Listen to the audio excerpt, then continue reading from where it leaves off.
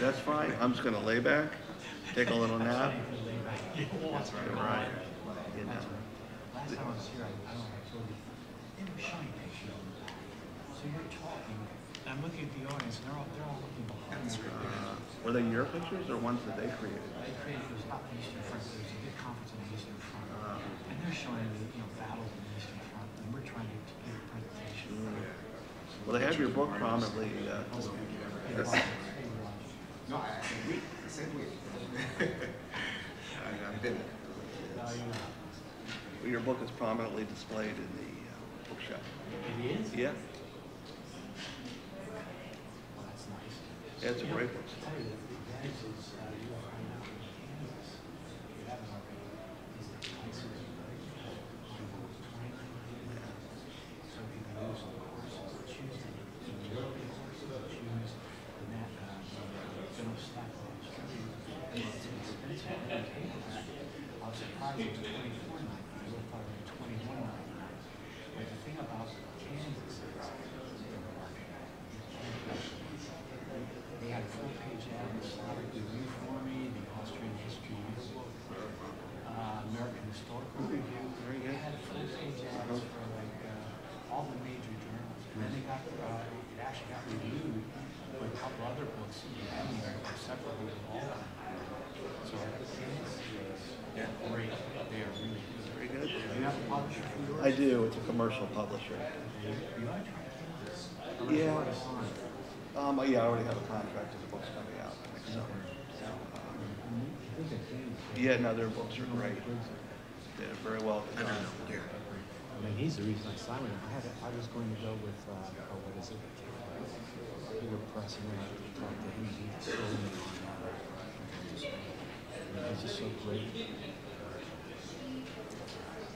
And, you know, he told me to check with these people, uh, you know, I, I can't say that about them. I did my first book with UNC Press. And they did You a are good job with live. the production of the book and you know, getting it out. I was a little frustrated with it. Mark, yeah, Marketing well, of it. all the university presses don't market well, but Kansas does. Yeah, I felt like I had to do a lot of the legwork myself. So Mm-hmm. Yeah, that's just typical. Yeah, well, I kept saying to Candace, I'm like, you know, should I do this, should I do that? He said, you know, I did it. So that's actually one of the reasons I'm considering maybe going with the commercial press for my next book, just to hopefully get a little more marketing. Oh, well, you, you can't get better marketing than Kansas, I'll tell you, because stuff comes through our department. Um, usually the university presses get the most attention. Ten minutes to live. I say ten minutes to live. Yep. Yeah, let me see. I think that's us. Oh, we got water.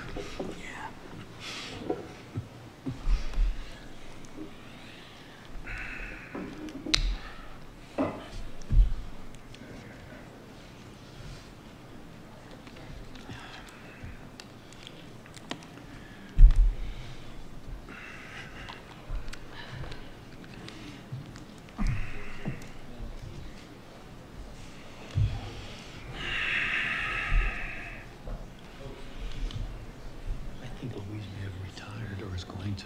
I'm not sure. Okay, I'll write her and acknowledge, I mean, she's, I saw the little note she sent, which is nice. Um, I see her at the Society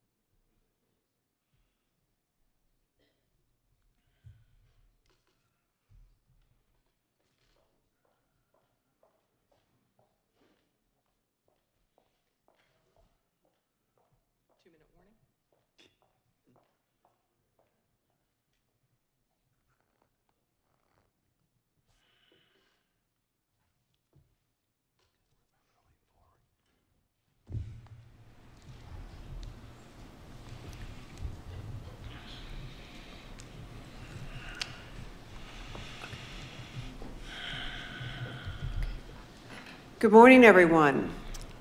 My name is Libby O'Connell. I'm the Chief Historian for History Channel, and I'm very proud to be here this morning to welcome you to the National World War I Museum here in Kansas City. I really want to thank our hosts.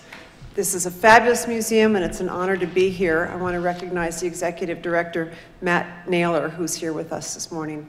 Thank you so much for welcoming us. I also just want to congratulate the U.S. Commission on World, the National World War II Commission on organizing the panel that you'll see in just a, in a, just a few minutes. And also thank C-SPAN for filming this today. Um, quickly moving on, because you're not here to see me, but I'm, I'm proud to be here on, on behalf of the History Channel.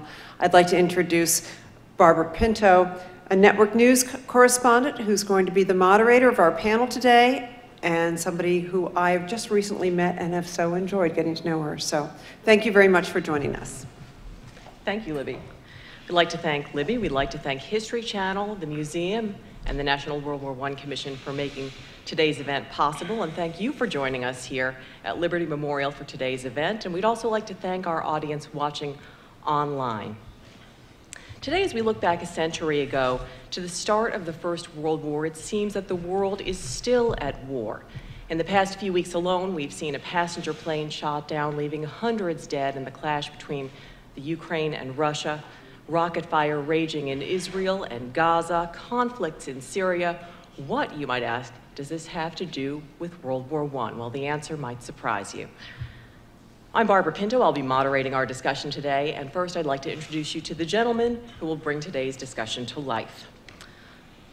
On the far left is Dr. Chad Williams, Associate Professor and Chair of African and Afro-American Studies at Brandeis University.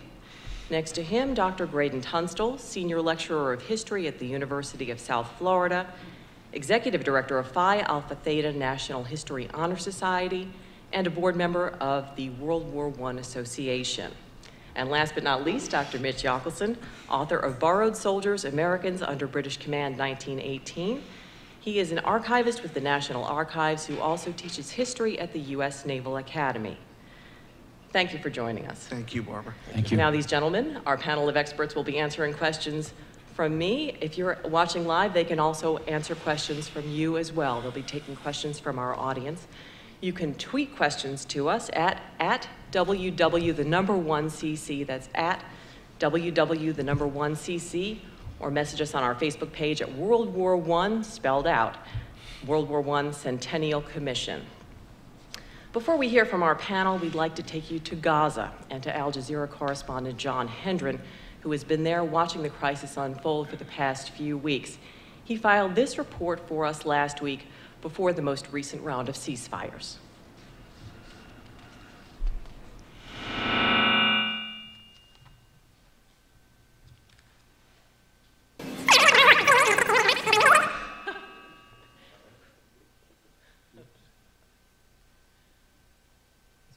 I was on my way to Gaza. Since I've been here, I have seen a failed ceasefire. I have seen an escalation. I have seen Hamas, the organization that pretty much runs Gaza, accused of targeting civilians with these multiple rocket attacks out of Gaza. They have eventually, as of today, killed one person. I've seen Israel say they were striking military targets, and among the 213 people they've killed, uh, according to outside organizations, something like half or more of those people are civilians, some of whom I've seen up close.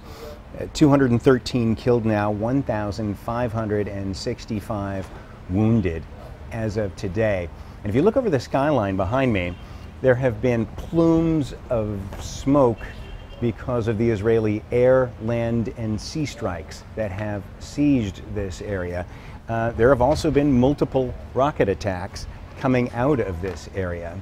And of course, we have seen the results in the streets. There have been dozens of homes of Hamas leaders, some of them military, but some of them political, all destroyed.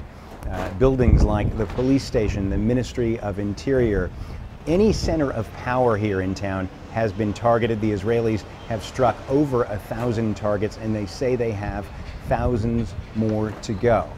I talked to families today who had left their homes days ago, heard about a ceasefire yesterday, and then were told again with Israeli leaflets dropped from the sky to leave their homes near northern Gaza, and they have returned to the center of Gaza, a city that's just not prepared to handle the 100,000 people the Israelis have asked to leave their homes. So there is likely to be a humanitarian crisis here. This is a city with a shortage of water. There is a shortage of electricity. Most people get about eight hours a day. And there is a shortage of food. This place has 50% unemployment. 80% of the people here live in poverty and receive food aid. And I've noticed that this is a conflict with no end in sight. I was at the home of a Hamas official today that was destroyed. His name was Mahmoud Zahar. But what was interesting is that in 2004, his home was destroyed once before. His son was killed. He and his wife were injured. Another son was killed in a separate engagement with Israel. And then today, of course, it happens all over again. So as we await a ceasefire, we look forward and wonder whether whatever happens at the end of this conflict will make a substantial difference between Israel and Palestine over the long run. John Hendren talked about a conflict that seemed to have no end, but the beginning may be a bit more clear cut. Uh, how does this fighting in Israel and in Gaza relate back to World War I? Dr. Tunstall, we'll start with you. Okay. It's a pleasure to be here. You have to know World War I to understand the conflict going on now. In 1914, uh, Sharif Hussein, an Arab leader, local Arab leader, approached the British government about an alliance because uh, the Turkish Empire controlled all the Middle East. In 1915, you have the famous McMahon Hussein correspondence, where the Arabs are told, yes, you can ally with us, but we will control Iraq and all these areas. We will be supreme. And it's accepted after a long silence. But the key point is 1917 with the Balfour Declaration. Here the British uh, informed the Jewish people that they would have a new homeland and uh, assured the Arabs that they would not be disturbed. Using the word disturbing, the British never intended any of what they said in this time. You have to remember, Britain was the largest imperial empire in the world, controlled 25% of the Earth's surface at this time. In 1918, you have a military campaign in Palestine, which was on the level of what they anticipated for World War I. But the key to wanting Palestine for the British was that it would cover the flank for the Suez Canal. The Suez Canal was critical for India, their gemstone in their empire. Um, the tragedy a lot of people are not aware of, and this is what the Arabs look back to with a lot of uh, dislike, on July 7th, 1918, a joint declaration was made by the British and French governments promising that if the Arabs continued to fight against the Turks, they would be given their independence and freedom. This is going to happen over and over again, and was never intended. When the war ended in the Middle East, there were one million soldiers there, British soldiers. Actually, most of them were Indian, uh, Asian, uh, and African. But there was an immediate demobilization because people at home wanted the war to end. Well, what happened was no one anticipated, but between 1919 and 1922, every area, because they're not states yet, in the Middle East rose up in revolt. Because at Versailles, they thought that President Wilson's 14 points promising self determination gave them their freedom. Wilson and Lloyd George and Clemenceau only intended that self determination to be in Europe. So you had these uprisings. In 1922, they finally start to settle down, and Iraq and Egypt become, quote, independent. No, the British still control them. They want the oil in Mesopotamia, which is today's Iraq, because they, they originally did a Mesopotamian campaign in 14 and 15 to get the oil for the dreadnoughts the first real weapon required oil. But it's in the 1920s that Arab nationalism starts to really build, and with it, Islamic uh, evolution. In 1935, you have a major uprising in Palestine. It's crushed, but where the trouble starts before the Second World War is in 1939. The British government uh, issued their so-called uh, white paper or white statement. It was the white paper where they said you cannot have independence for 10 more years. And it caused a lot of trouble. Now, what happens when World War II breaks out is that many of the Arab leaders will support the Nazis because it's the imperialistic British and French who have controlled them. This becomes important, but also the fact that Hitler's armies beat France in 1940 and the Japanese embarrassed the British in 41 and 42 in the Pacific. The Middle East is never going to be the same. Uh, again in 41, uh, particularly Syria and Lebanon are promised their freedom at the end of the war. This, this has to happen because by World War II, Britain and France are finished as major uh, imperialistic powers. The key year is 1947 after World War II. This is when the British decide they cannot handle the religious problems in Palestine or India. And they ask the United States to take over control of, of, of, Palestine, and we say no. So they turn it over to the United Nations. I don't want to get into the United Nations, but to make a long story short, as soon as the United Nations proclaims a birth of Israel, there is a war in 1948. There's, you know, there are other wars, 67, 73. Uh, this brings in the great powers because after World War II in Africa, Asia, and particularly the Middle East, all the nationalistic groups can get weapon systems they couldn't before from the superpowers. Well, between 63 and 70, uh, 67 and 63, the Arabs switched to a more guerrilla type warfare because they know they can't win on the ground. And then I'll wrap up by saying you have the uh, Palestinian Liberation Organization with Arafat, it goes to the Hezbollah, and now it's Hamas controlling that area. I call it a more dangerous Ireland. It's over religion, but this is not going to be settled for a long time. Thank the roots you. dating back to World War One. And yeah, all goes back to World War One at the very beginning. And I'd like to just elaborate on the larger point that I think Professor Tunstall is making, is that we need to think of World War I first and foremost as an imperial war.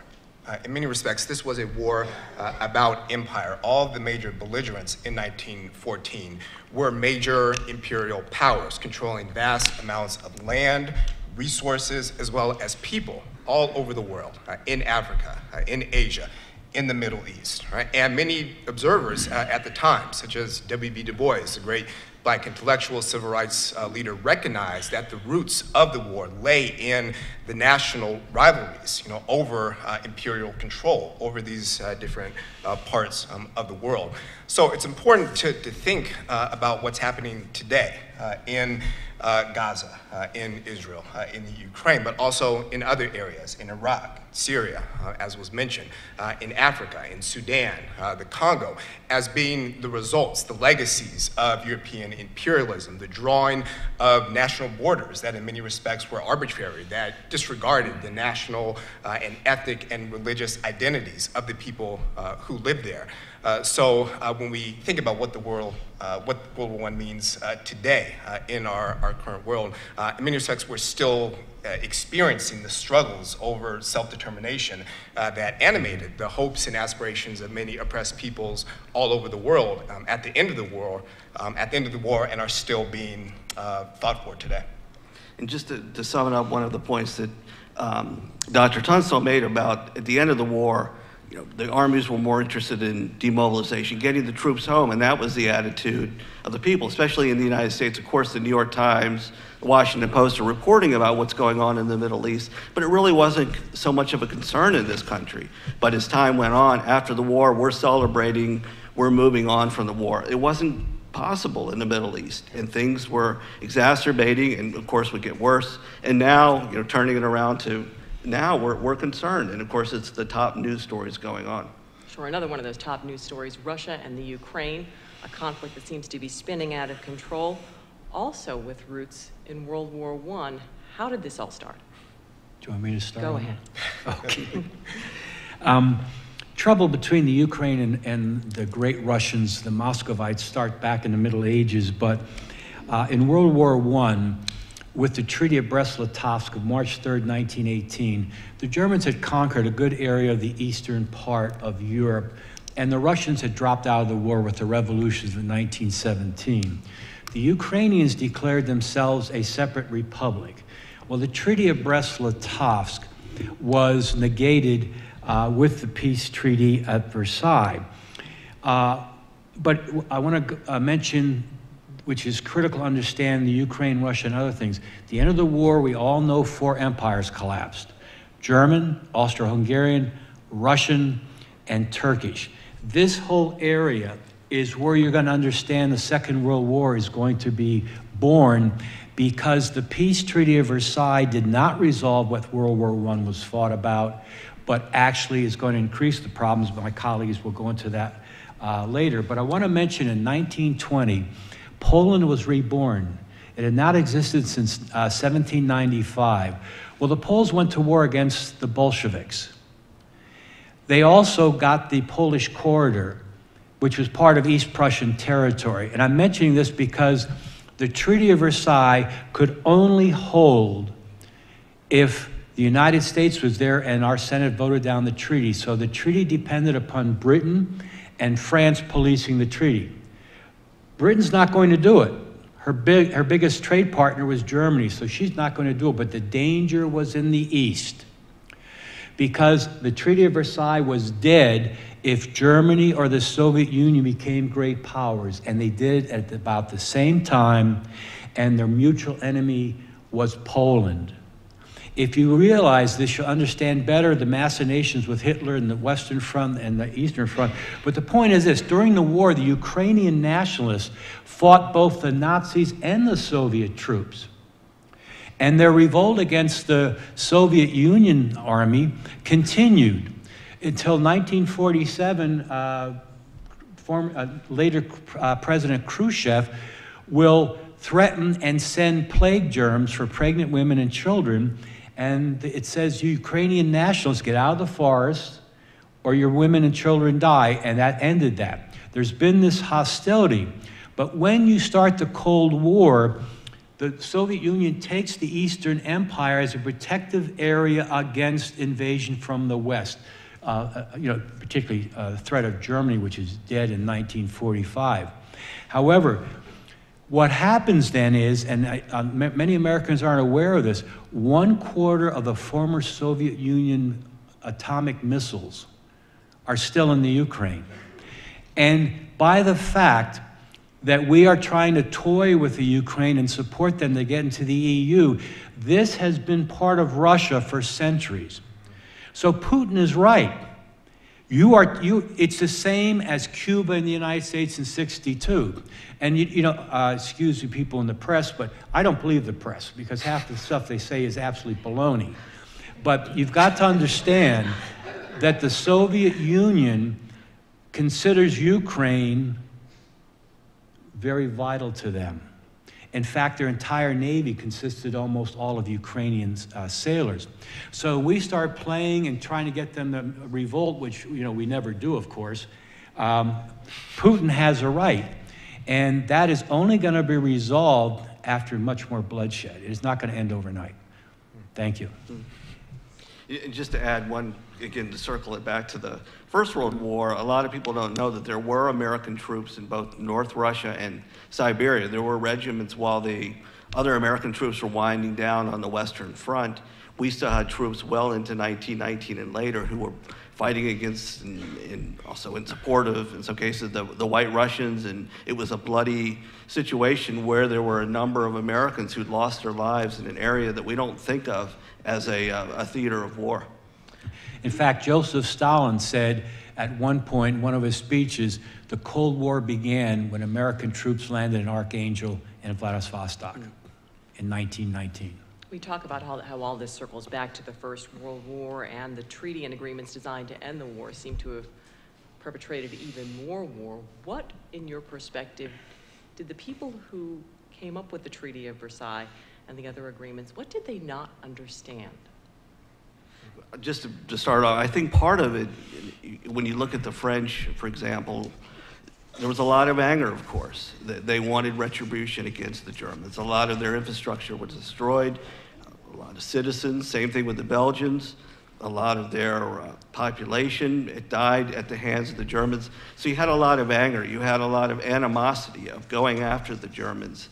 And that, that animosity, I think, really led to some confusion of what they were going to try to achieve by um, having this, you know, treaty. And the United States was kind of on the peripheral of this. I mean, President Wilson was kind of running it as, as the referee, and as you know, Dr. Tunstall pointed out, it was never ratified in, in the United States, and it ended up being more of, I think, uh, of the other allies kind of controlling things at the table. And I'll Yeah.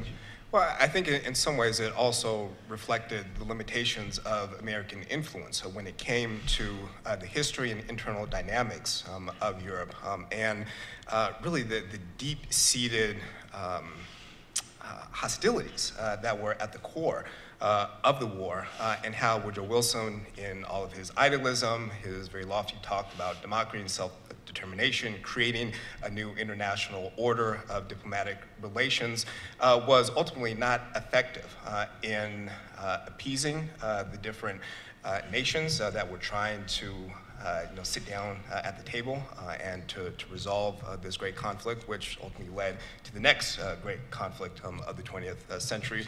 But I think uh, even uh, looking more specifically at the uh, American uh, perspective and Wilson uh, specifically, uh, his lack of attention to domestic affairs, the fact that when he is in Versailles negotiating the peace, retreat, peace treaty, America is in flames. You have race riots taking place in the country, you have labor unrest, you have a tremendous amount of domestic um, upheaval that affected um, the uh, politics of getting uh, the uh, uh, getting the treaty passed through Congress, which ultimately didn't happen. So I think there's a number of different factors, you know, looking from the perspective of the United States and Wilson specifically, that speak to why the League of Nations and Versailles was ultimately a failure. Lloyd George and uh, George Clemenceau played Wilson like a fiddle. Um, in particular, well, I mentioned about the League of Nations, the main weakness is it had no army and it was controlled by Britain and France, uh, as the UN was when it was originally created after World War II. Uh, so you had to be aware of that. But um, whenever Wilson would stand up to something or say, I don't like that, they would say, We're not going to vote for the League. And he would give in. This is how he gave in to the mandates for Asia, Africa, and the Middle East. He was convinced by Lloyd George and Clemenceau, who had to be snickering under their breath, we're going to give them their freedom in time. Yes, there's the ABC uh, mandates, but in the Middle East, they will be free soon. And Wilson fell for it.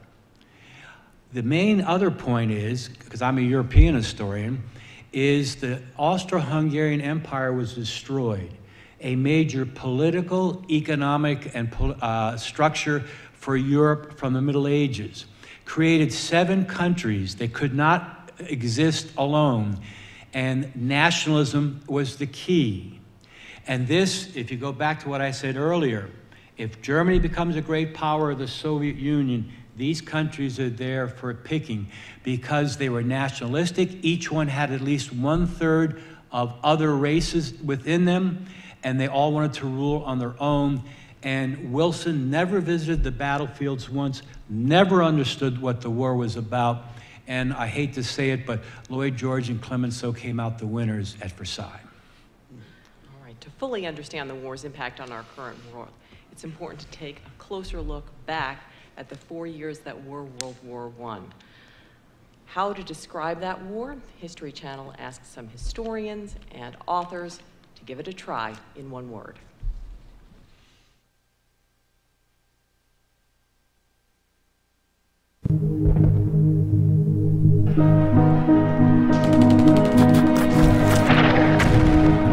If I had to choose one word to describe World War I, it would be cataclysmic.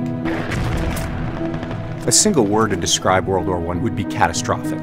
Transformational, because nothing was the same once the war was over. I think the one word that helps to describe World War I is destructive. I would choose the word mistake. Stupid. That's how I would encapsulate the First World War. World War I did not have to happen. There was no inherent reason. It literally was dumb. A person during World War I thought they were in a new age, a fascinating modern world, the world that produced the Titanic, aviation, and incredible advances in medicine. It seemed like everything was within grasp right before World War I. And all of these would be smashed on the battlefields of Europe. From the very beginning of the road to war to everything that comes out of the war and the peace plans is not just one mistake, but a series of mistakes. People had the option to choose peace and time and again seemed to make the wrong decisions. It was lack of communication, it was intellectual rigidity, it was a simple falling of dominoes that never needed to fall. And so the children of the Renaissance and the Age of Reason and the Enlightenment ended up massacring themselves in the mud and blood of the trenches. Not just destructive in terms of what happens to men's bodies on the battlefield, destructive in terms of global politics. The Russian Empire, the Austro Hungarian Empire, the grievous weakening of the British and French empires. The world that existed in 1918 was remarkably different from the one that existed in 1914. The whole globe was influenced by this war, and the transformational changes cover a wide range from technology of weapons. You see the first tanks, you see the maturation of artillery guns, machine guns, trench warfare. World War I begins the modern era.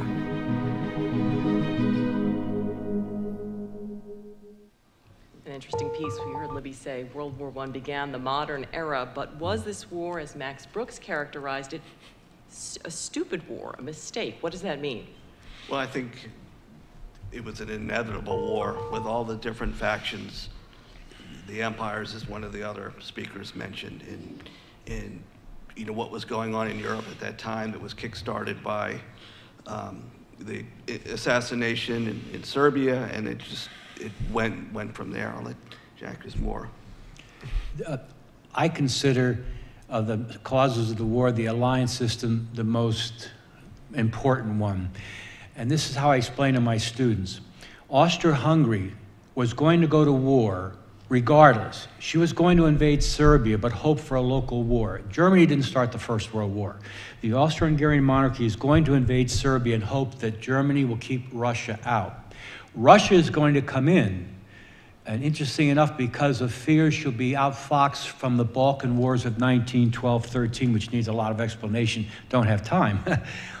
but why are Britain and France and Germany coming into the war on August 1st? Because of the alliance system.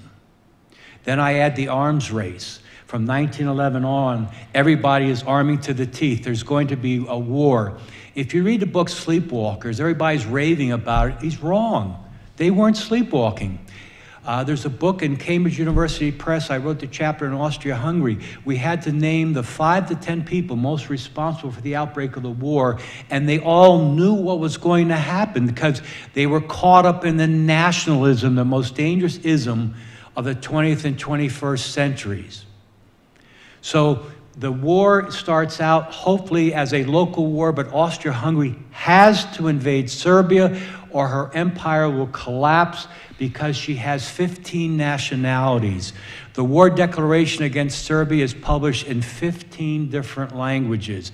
So for Austria Hungary, was survival is a great power. Germany could not let Austria Hungary be defeated, it's her only ally. And the Russians had signed a treaty in 1894 which would take the weight off the French in the West if they went to war with the Schlieffen Plan.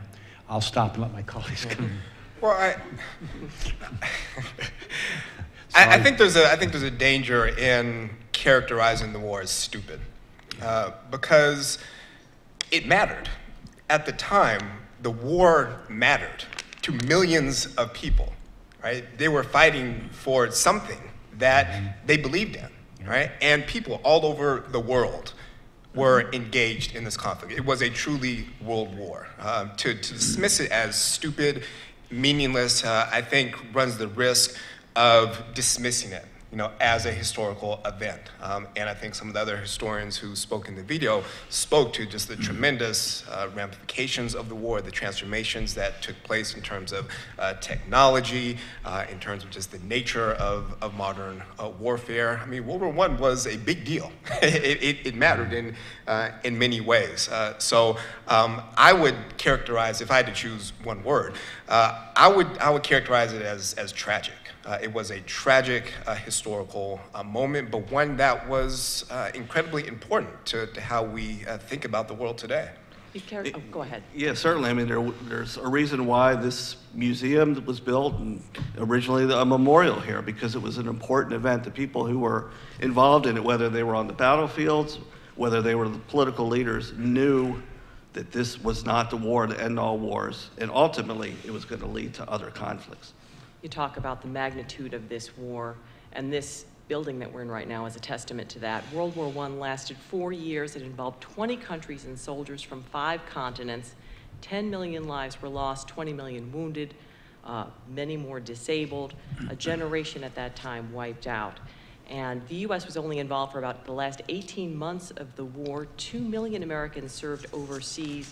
More than 116,000 were either killed in combat or from disease. And just to put that in context, that's nearly two times the casualties of American troops in more than a decade of war in Vietnam. So this was called the war to end all wars. Clearly, it was not. It did just the opposite here. Help us understand how the United States got involved in this war that was thousands of miles and an ocean away.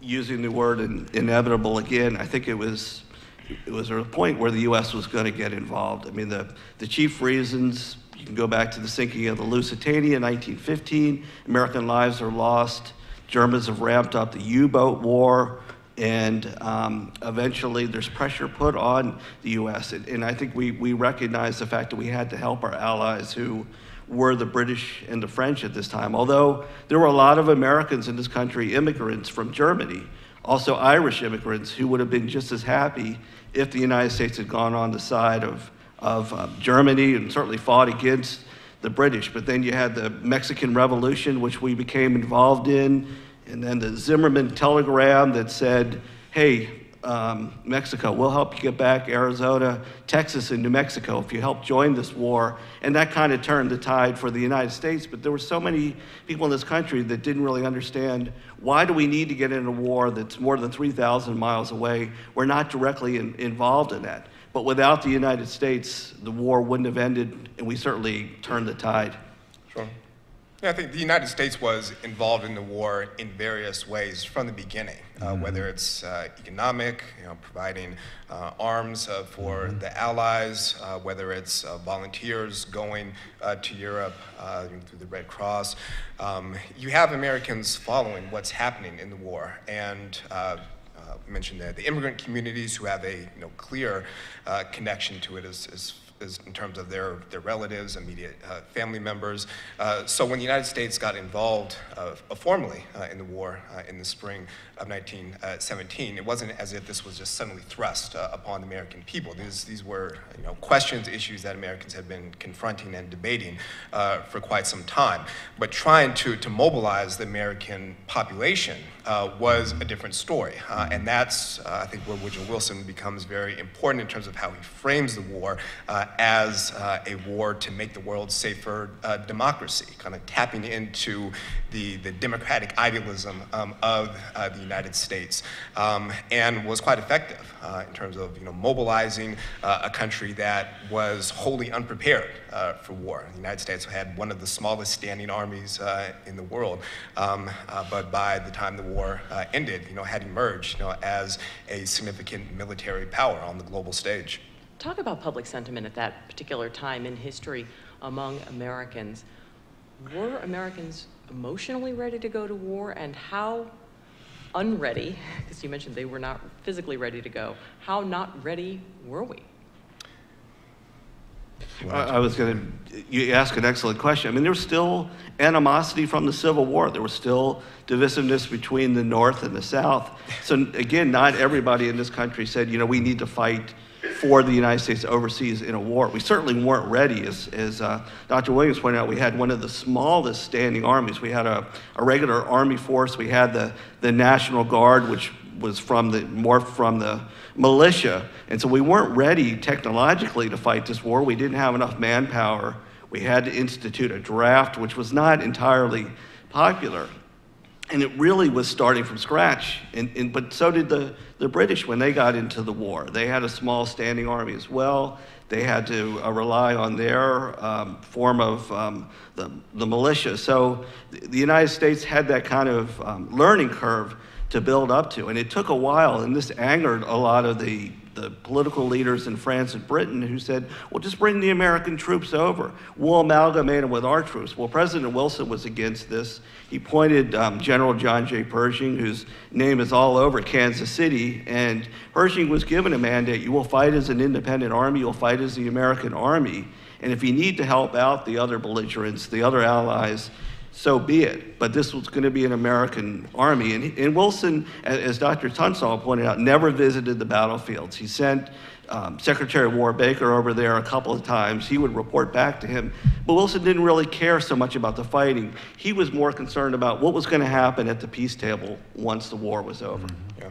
Also, the United States government created a tremendous propaganda machine uh, to uh, to generate support for the war effort amongst uh, many segments of the American population which were incredibly skeptical for various uh, reasons. So you have the Committee of Public Information, uh, which is created, led by uh, George Creel, which you know, produces this remarkable machine um, of government sponsored propaganda. But you also have a strong element of government repression uh, as well. Um, American support for the war, uh, for many people, was coerced. Uh, I mean, you have, uh, I mean, one of the darker aspects of American uh, involvement uh, in the war is just the tremendous uh, suppression of civil liberties uh, which took place, uh, restriction of freedom of the press.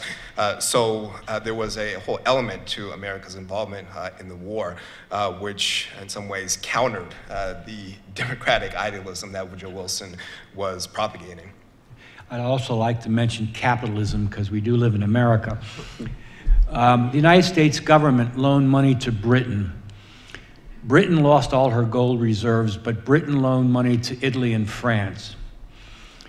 If we didn't enter the war, who was going to pay the bills? When you, uh, we mentioned Lusitania, all the news, major newspapers in New York City had full page articles from the German government. The ship contains artillery shells and, and machine gun ammunition. It is a ship of war. But it's one of the reasons we go into the war. I want to mention after the war because this is one of the things that helps Hitler.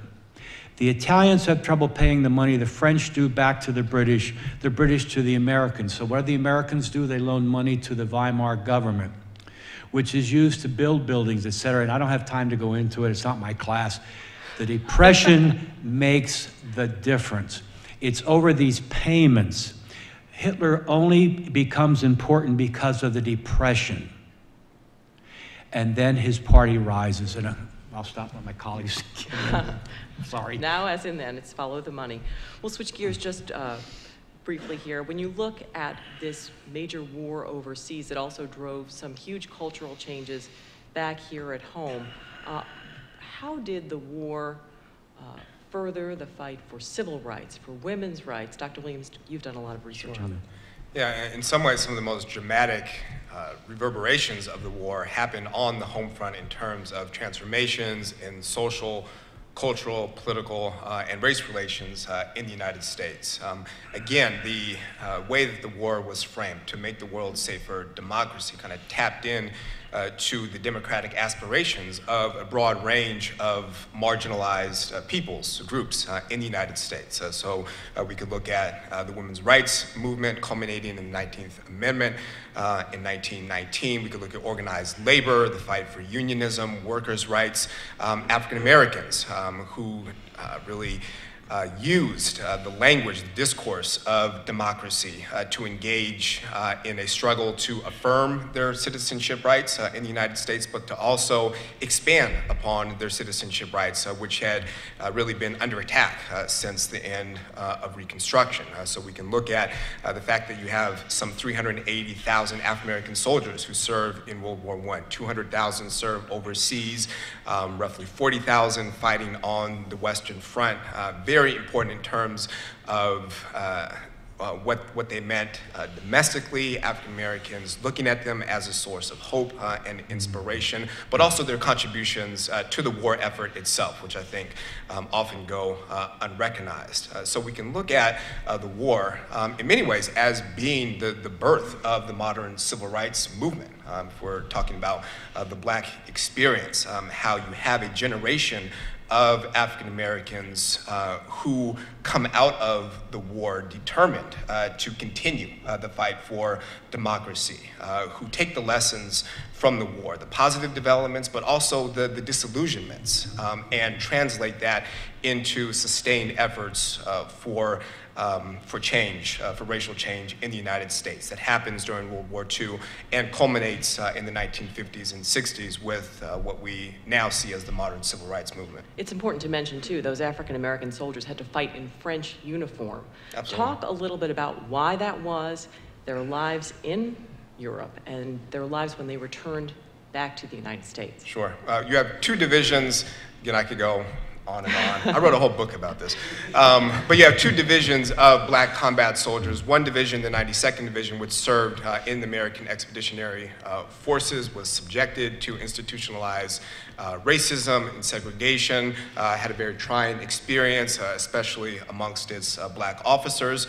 But you have another division, the 93rd Division, which was a provisional division made up largely of black National Guardsmen from New York, Chicago, um, other places.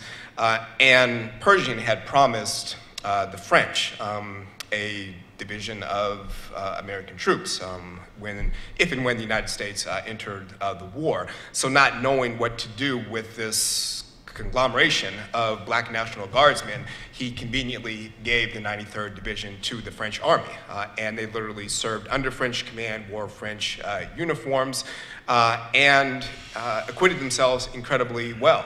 Um, and uh, in some ways, their uh, experience uh, kind of spoke uh, to the challenges that African Americans faced in serving uh, in the American military, uh, but also the, the idealism that serving um, under the French generated as far as providing black soldiers with a different view of racial possibilities, that there were alternatives to uh, what they were experiencing, what they had experienced uh, in the United States. And this, again, translated into the post war period. I'd like to add also some of the unsung heroes of the First World War in the American Army were Native Americans. There were thousands of Native Americans who served in the combat divisions. For example, the 36, which was out of Oklahoma and Texas, had a number of Native Americans, and we know about the Navajo code talkers in the Second World War, using codes to fool the Japanese. Well, actually, that dates to the First World War, where the Choctaw code talkers in the 36 had used the telephones and used the their own dialect and came up with some kind of gibberish messages that fooled the Germans around the in a Champagne sector. But uh, Native Americans um, were rewarded for their so-called service by um, giving um, naturalization after the war. The war also drove incredible advances in technology. I mean, this is a war where soldiers rode in on horseback and came out on airplanes. Talk a little bit about people, what people may not know about the technology and advancement that happened in these four years that were World War I. Medical research uh, particularly advanced because you didn't have your wonder drugs yet. Give you one example, and that's uh, a lot of wounds, head wounds, were fatal, particularly in the Alps. That's the worst uh, field of battle in the First World War in Europe. And the, the, the, artillery shells would hit the rocks, and the pieces of rocks would go in the heads because they didn't have steel helmets till the very end of the war. An Austrian who had won an award in 1914 developed a process which allowed many of these people to live and it was very simple. You, is, is you clean out the wound. A lot of times you went like with Abraham Lincoln, they totally treated the wound uh, incorrectly. For armor, armor did not prove itself in the First World War. In fact, the Germans didn't see it as being that uh, uh, worthwhile an arm because they didn't even build a lot of tanks because their artillery would stop them, like at uh, Cambrai, etc. So that will be a development later. The telegraph and the telephone become critical in the First World War, which leads to the communication advances that, of course, be jump started in the Second World War. But oil becomes the mainstay of warfare, and this explains the Middle East later. And even today, oil is the background. It's, as we all know, it's not going to last forever. They've got to come up with a solution. But that is the key to military power anyway. It's why China's trying to get all the oil she can. She's trying to build up a gigantic army and within a few decades, it'll be the first time in history a country will actually be able to threaten an invasion of the United States. Yeah, we'll get to those tensions in, in a short Okay, bit. yeah. Anyone have anything else to add about the uh, technology that was developed during the war? I was going to say some of the paintings you see that were done after the war or even well after show soldiers in hand to hand combat and using their bayonets against their foe. That was unusual. And part of the reason was the fact that the machine gun was so deadly.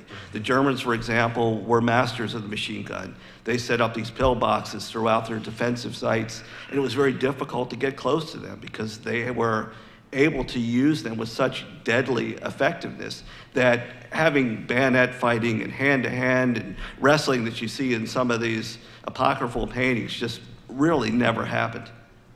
Well, you know, from the film with the artillery, it's critical to understand that. When the war began, artillery will end up ki- being the killer of 81% of those killed in World War I.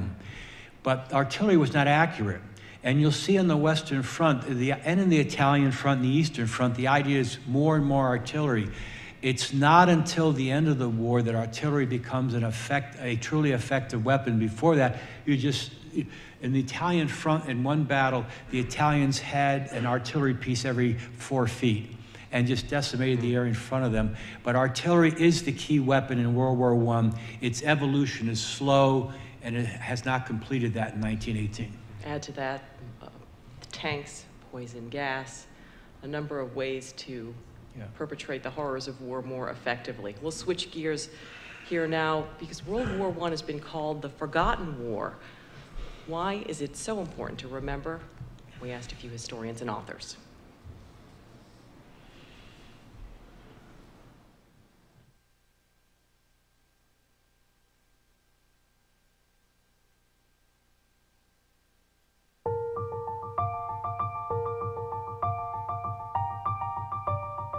I think it's so important to remember the fir First World War because it shaped the world that we live in now. It wasn't just something that's long gone and buried. The conflicts that emerged, the border disputes that emerged from World War I, continued to plague us in very serious ways. World War I is often called the Forgotten War because it was largely overshadowed by World War II. Not only was World War II greater in scope, it was also mechanized and it was clear cut. You had the Nazis on one side and you had the perpetrators of Pearl Harbor on the other. Uh, a great crusade with fabulous wonder weapons. You could almost call World War II Lord of the Rings with tanks. Whereas World War I was young men dying in mud in trenches that didn't move. It's not really the stuff of heroic songs. And I think largely uh, the madness of World War I has been overshadowed by the crusade of World War II. It's important to remember it because we went into it grossly unprepared and uh, we repeated the same lesson over again in World War II. The solution to the end of the war was not a solution, and that is the, the lesson we can use to this day. We have to be very careful about how we conduct international relations, especially when it involves armed conflict. Individuals uh, were not only confronted with war, they were confronted with the pandemic flu uh, outbreak. And so many of our young men died of uh, not combat, but of the, the closeness that they had to live and the pandemic that spread. America faced a, a tragedy, but the, the world faced a tragedy in that. The significant loss of life in World War I can be something that we can never forget. World War I is important to remember because it birthed an American century. We hear over and over again about the greatest generation. But who were the parents of the greatest generation? Who forged the greatest generation? It was the World War I veterans, and it was the families of World War I veterans.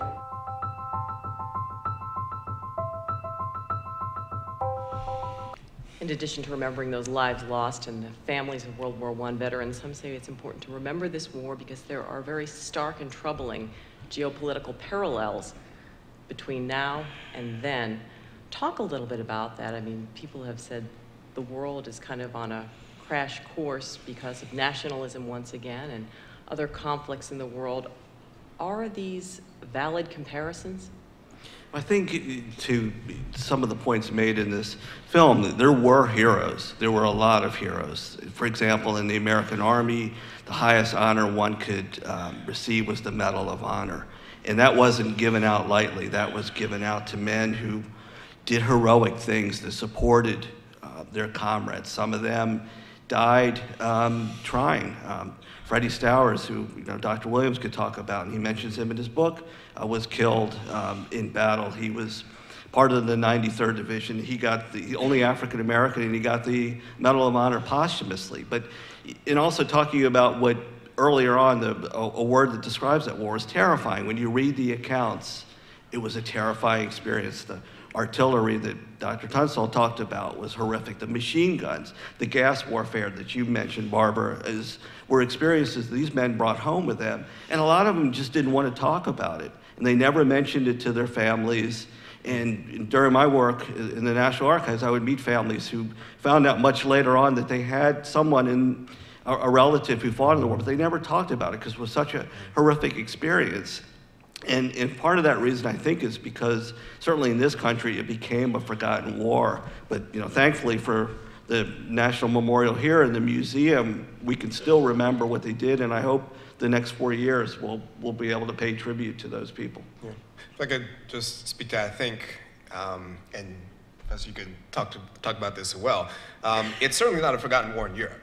No. Right. Uh, you go to France, you go to Great Britain, you go to Germany. Uh, World War I is not forgotten. They're still living with it on a daily basis. Um, you know, French farmers are still digging up unexploded artillery shells. So it's still an everyday part of the lives of, of many people. Um, in the United States, uh, I think uh, part of the, the reasons why the war may uh, be forgotten uh, has to do with the, the trauma, uh, as well as the disillusionment um, and how uh, the reasons for why the United States fought uh, in the war uh, really became very contested immediately um, after the war. You know, in 1919, the failure of the United States uh, to uh, to join uh, the League of Nations, Americans, you know, were actively, you know, questioning.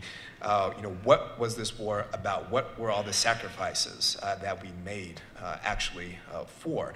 so I think that has, in many ways, passed down from generation to generation, and why it, the war doesn't have the same resonance in the United States as it does in Europe. I'll just second in Europe, it certainly does. Mm-hmm. I've been in Poland, I've been all over Europe, uh, particularly Central and Eastern Europe, giving talks. And all over Central and Eastern Europe, they have volunteers replacing all the gravestones of those who died in the First World War. In little villages and big cities, uh, it will never be forgotten in Europe because an entire generation was destroyed. Yeah, and the so-called lost generation after the war, the great writers like Hemingway and mm. Faulkner, they were disillusioned. They mm. thought that they were going to make a great contribution to this conflict. They went in early as volunteers, and it ended, as we talked about, with this Versailles Treaty that really not any, no one was really happy about. Certainly the Germans were, but nor were the, the Allies. And the people who fought in it started questioning about, well, what did we gain from this? What was our contribution? When we look back then and we look at the world today, some people have made comparisons about how the world looks then and how the world looks today, about certain conflicts and rivalries between countries, and they've compared that to the way the world looked prior to World War I, mm-hmm. uh, talking about China growing military, militarily and economically. How daunting are those comparisons in your mind? And uh, should we be concerned? I think we should be concerned. It's the story before World War I of Germany against England and possibly France. Today, uh, and, and, believe me, those of you who think Russia is not a threat, uh, I've got a bridge to sell you in Brooklyn. Um, Russia is still a great power and is very dangerous. But the, the, the power, uh, the threat is mostly, uh, and I'm going to use the word population because if you're not aware of it, by 2050, India and China, India will have passed China and they will have well over half the world's population. That often leads to war. But I'm just going to give you an example how World War I affected the, the, what's going on today. In World War I, President Wilson told the Chinese leaders that if they would go to war against Germany, that he would make sure at the, at the peace treaty that they could bring up the question of the Shantung Peninsula, which had been taken by the Japanese.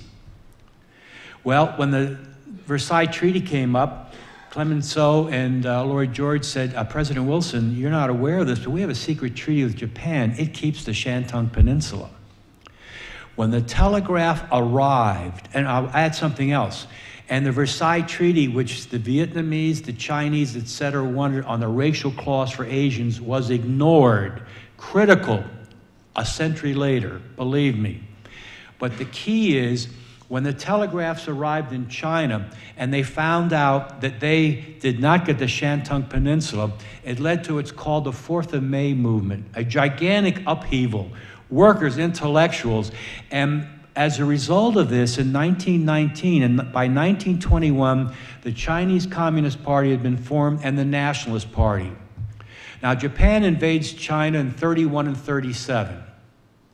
But Chiang Kai shek, who was one of the uh, most corrupt rulers in history, was notorious for not fighting the Japanese because uh, he couldn't beat them. So he kept fighting the communists. Well, between, uh, you should know between 1916 and 27, the warlords ruled China. Well, after this, when Chiang uh, takes power, you will find that the Civil War will go from 1921 to 1949. And in World War II, Chiang spent most of his time fighting the communists, and we were supporting Chiang. In 49, the Chinese Communist Revolution succeeded. And that's when the Cold War moved to Asia. You had the Korean War. Now I can throw in Japan. Depot for the Korean War, the Vietnamese War. Why is the Korean War? Because China has had a revolution. The Cold War is here. China has seen itself as betrayed by the Americans and dislike us from going back to the First World War era. Is China a threat? she has a lot of nationalities. Economically, she has a lot of problems, and she's destroying the earth uh, environmentally, but she's also very dangerous.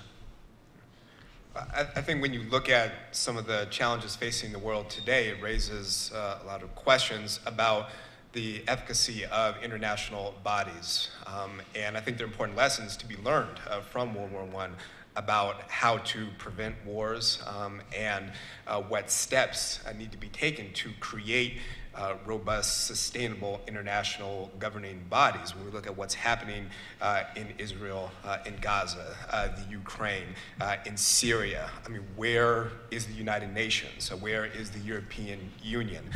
So, I mean, hopefully we can look back on World War I, um, some of the failures that came out of, out of the war, um, and hopefully take some lessons about how to prevent these large scale global uh, conflicts from escalating into something more sinister. Dr. Yockelson, we'll let you have the last word on this before we you mentioned questions. in your question about before World War I, what the world was like. Well, the U.S. had military advisors, military attaches all over Europe, and they were reporting on political, economic, military conditions. So we knew what Germany was doing. We knew that they were building their general staff. We knew that they were basically preparing for war, so it shouldn't really have come to a, a great surprise. And I, I, would say that, you know, as, as Dr. Tunstall said, you know, what's going on in China, we, we need to be aware of what the Chinese are doing and not get caught off guard, just like we did during the, the Korean conflict. Thank you. We'll take a few questions now from members of our live audience and from people online. Uh, you can tweet questions to at ww the number one cc or message us on Facebook at World War I Centennial Commission. Any questions from the audience? Would anyone on the panel care to compare the recent downing of the airliner over the Ukraine with the sinking of the much discussed Lusitania here today? I would just like to say that to fly over that area was insane. Uh, uh, you got a war zone. Why are you flying over it? Uh, most the, the major countries weren't flying it over it anymore. I, mean, I think it was just stupidity on the part of the Malaysian Airlines. Another question from our audience?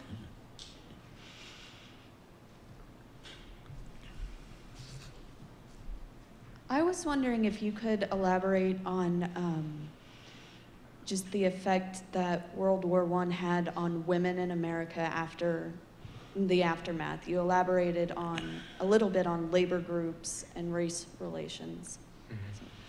Well, I think the, the First World War certainly gave women uh, an opportunity. Uh, men went off to war, so the women, just like in the Second World War, took over in the factories, in the war, machinery, in, in other jobs. They normally would not have been um, allowed to work in this. And then at, certainly after the war, women's rights. Um, but women played a significant role overseas in both um, with Salvation volunteer organizations like the Salvation Army, YMCA, um, but also as telephone operators, of course, nurses, and I'm just talking about in, in this country. And then coming back to the United States, the world had changed and it opened up, I think, from this experience for women to be more empowered.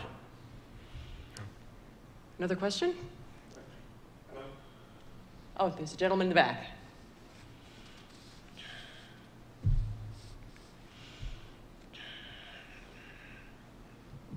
Uh, yes, I, I, would like to uh, maybe uh, slightly disagree with those who say that uh, the soldiers of uh, World War I were maybe the lost generation, uh, in that many of the soldiers who fought in World War I came back and became community leaders in their communities.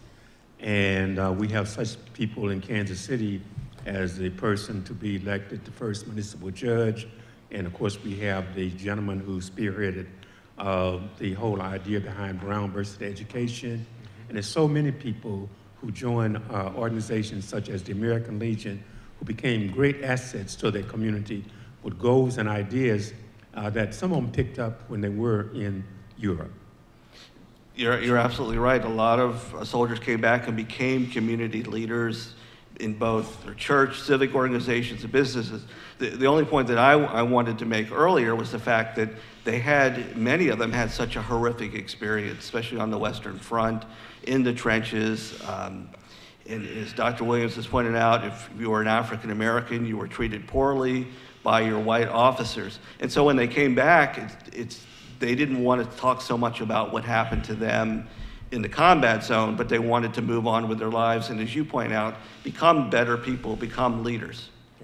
If I could speak to that as well, I think uh, the war was uh, incredibly transformative for individual soldiers' uh, identities. Uh, in the case of African American soldiers, the opportunity to travel to different parts of the country, travel to different parts of the world. I mean, the idea of a rural sharecropper from Alabama going to France uh, was something that was revolutionary. Uh, so the war really expanded the horizons uh, of many uh, American soldiers, uh, especially uh, black troops, uh, and they used those uh, experiences to transform their lives for the better after the war, to transform the lives of those in their families, in their communities. many African American soldiers did become uh, key members of various civil rights organizations. Um, you may have been referring to Charles Hamilton Houston, uh, who was uh, one of the architects um, of the NAACP's uh, legal strategy to uh, combat uh, Jim Crow segregation, served as an officer in the American Army during the war. so indeed, you have many American uh, soldiers uh, who come back uh, from the war who are deeply transformed and take those experiences um, into various aspects um, of their lives to um, affect change, you know, locally as well as nationally. In the military, it was Americans and on the other side, the Germans and the Russians, it's the lieutenants and captains survived the First World War, become the generals and field marshals of the Second World War. So in the military realm, um, it had quite an effect on the military as well. Another question? And if you could just keep your hands up so Rebecca can get to you if you have a question. Okay, I just had two really quick ones. One, Dr. Williams, I just wanted to know, from your perspective, we seem to be talking about maybe the 20s as the generation women get all these rights and there's this big social change for them. Why, why do you think it took longer for African Americans to get that same sort of, I guess, momentum in terms of the civil rights movement? And then uh, the other thing is just, pers- uh, just general opinion. Would it, how much of a difference would it have made if the United States had actually ratified the League of Nations? That's a heck of a Good questions. Well, I, I think, yeah, in the, in the case of, of African Americans, uh, you have a, a deeply entrenched history and, and legacy of, of racism uh, and systemic uh, discrimination, uh, which took time uh, to, to fight against. Uh, and uh, Uh, I think what's important to, to think about in terms of the significance of World War I is we see uh, kind of the groundwork uh, being laid, the seeds being sowed uh, for what would become the civil rights movement as, as we know it. Uh, so you have individuals uh, who are maturing, kind of coming of age. You have organizations like uh, the NAACP, the Urban League, um, that are growing and expanding. You have important shifts in the demographics um, of the country with African Americans migrating to the north. so that affects political change, you know, changes the, the calculus um, of uh, politicians, you know, on the local and national levels as far as how they're going to support uh, various civil rights um, efforts out of, if anything, political uh, expediency. Uh, so um, it does take time, uh, and that's why I think many historians today uh, tend to think of the civil rights movement not being kind of this moment, this singular moment in the 1950s and 60s, but as a, as a process, a long civil rights movement that really began uh, in arguably the late 19th century and um, perhaps even continues today. Could I answer the League of Nations? I was going to ask who was going to do that. Go ahead. the main problem with the League of Nations, it did not have any, did not have any armed forces. You don't have armed forces, you don't make decisions. The United States and, and all the countries that had fought in World War I had been bled to death. They were not anxious to fight. So the League of Nations, even without the United States, even if the United States has been in, I don't think the American people would have voted to send troops anywhere. The League of Nations was um, a playground for England and France, the Entente that won the war. It was not truly a League of Nations at all. And if you look at uh, Mussolini invading Ethiopia, he slapped on the hand. He keeps getting oil, keeps him to go to war. Did the League of Nations do anything when the Japanese invaded China in 31, 37? No. They put out a paper saying this probably shouldn't have happened. So uh, I, I, I, I, am not a big fan of the League of Nations. You probably didn't catch that, but uh, the League of Nations, without armed forces and willing to go into action and being controlled by the winning nations of World War I was not going to make a difference. We have a question from online here. It says, would there have been a Hitler had there been no World War I? Mm, I'd like to answer that one because right uh, uh, he didn't have to come to power, as, as uh, I, I think I said before, maybe I didn't. I'm getting older, it's hell, I'll tell you. Um, Hitler was nothing in Germany. Again, it was the Depression. When the Depression hit, which is, I don't need to tell you about in the United States, but Hitler then took all the arguments against Versailles, Articles 231, 232. Germany started the war, therefore she must pay. Stab in the back. It was the economic troubles of the Depression that brought him forward. It's the Depression era that Stalin is able to use to build up the Russian army. You wouldn't have had a Hitler if it had not been for the Depression. We have room for about one more question. Anybody have a question? We have one more question from Okay. Facebook from Rob Arbisi. He asks, does too much focus on the Western Front distort the historiography of the First World War? If so, how can academics best compensate for this? Can I answer that? Because I'm the one that's not well, in that, European that's your line of uh, Yes. study. Um, it, uh, it, it, it took me, I don't know how long for the, me to convince people in the World War I Association, I love the people in it, that there was actually an Eastern Front, which I write about. Uh, a lot of people don't understand the Caucasian Front, the Caucasus, excuse me, the Cauca- Caucasus Front the Italian front, the Balkan front, the Middle East, and all. But there are academic books out there that have this. You just have to search for them. But yes, the, the Western Front, this is the key if you don't understand it. The winning powers get to write what they want. And since the British speak English, sort of like ours, um, uh, we get what they say. And I'll tell you a little secret. Look at any book written before 1990, you will see no picture of a French soldier in a British history of the First World War, and the British only had 25 miles of the front. Wow, I think we may have room for one more question. Yeah, I just want to thank the panel today for um, very informed discussion.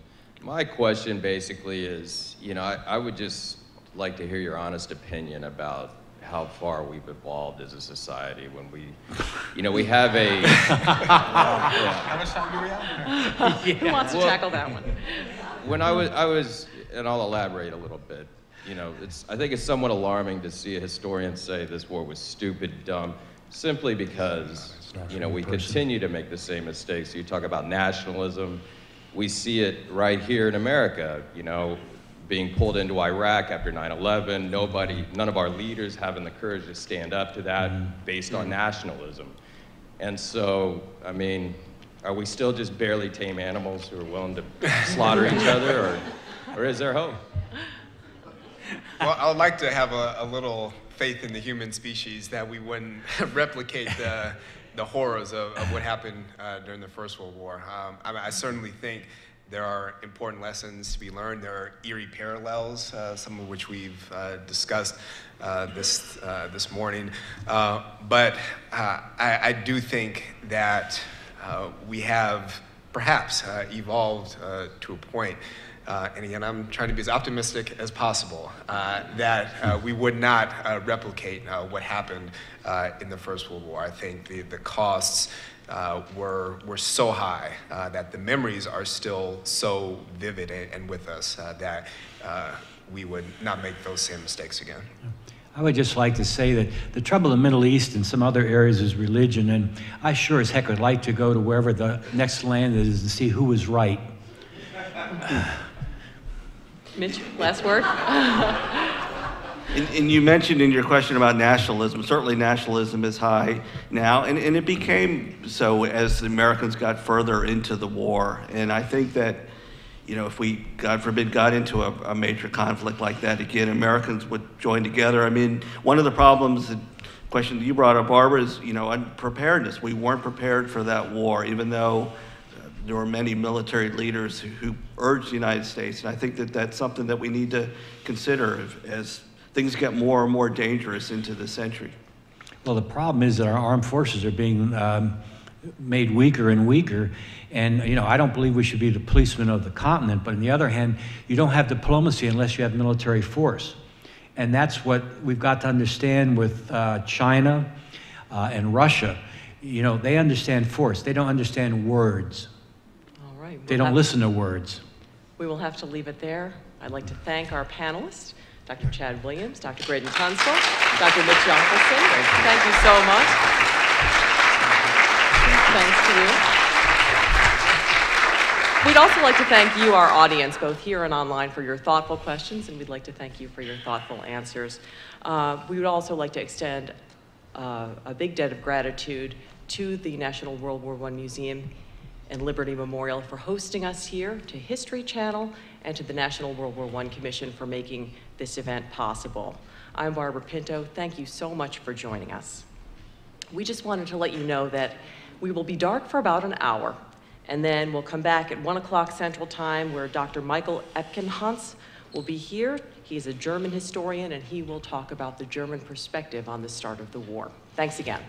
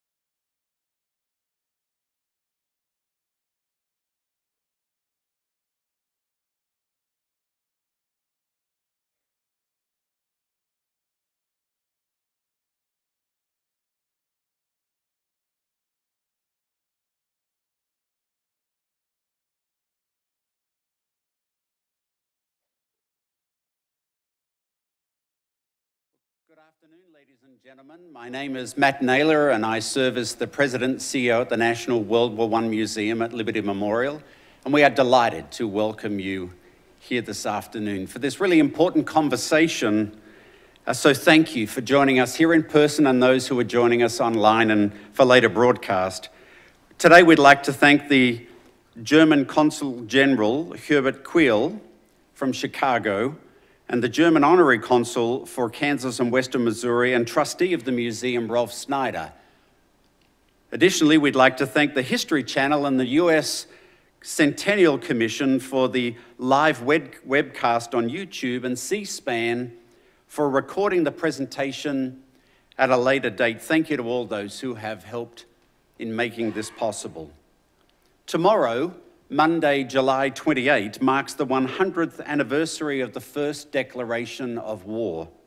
This declaration pulled the smouldering regional sentiments, resentments that many at a time believed would lead to the Third Balkan War into a war that embroiled not only neighboring nations around Sarajevo, but by November of 1918, countries from every inhabited continent. The Great War seized into a worldwide disaster with over, with over 37 million, million casualties. Empires lost, national boundaries reshaped, and if you heard the panel earlier today, set the stage for the peace and hostility, the, the poverty and prosperity of our present day. At the National World War I Museum, at Liberty Memorial, we tell the global story. And so today we're honored to be joined in this important day by Dr. Michael Epkenhans.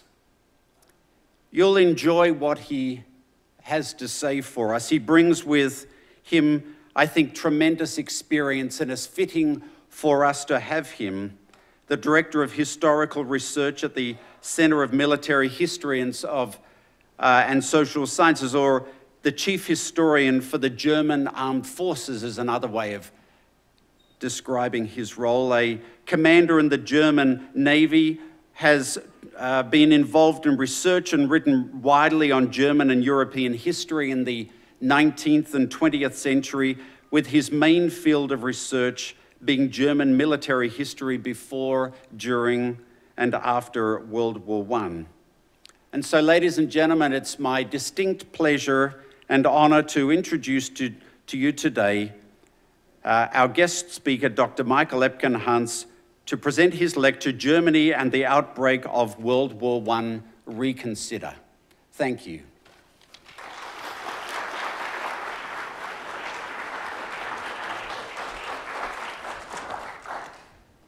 Thank you very much for your kind introduction, ladies and gentlemen. It's a great pleasure for me uh, to be invited here and to have the opportunity to give a talk on uh, Germany's role uh, at the beginning uh, of World War I and it, uh, its impact upon um, future history. Here you can see three of the decision makers on the left-hand side it's the German emperor, the last German emperor, Wilhelm II, the so-called Kaiser. In the middle, the man with the garbled beard is Alfred von Tirpitz.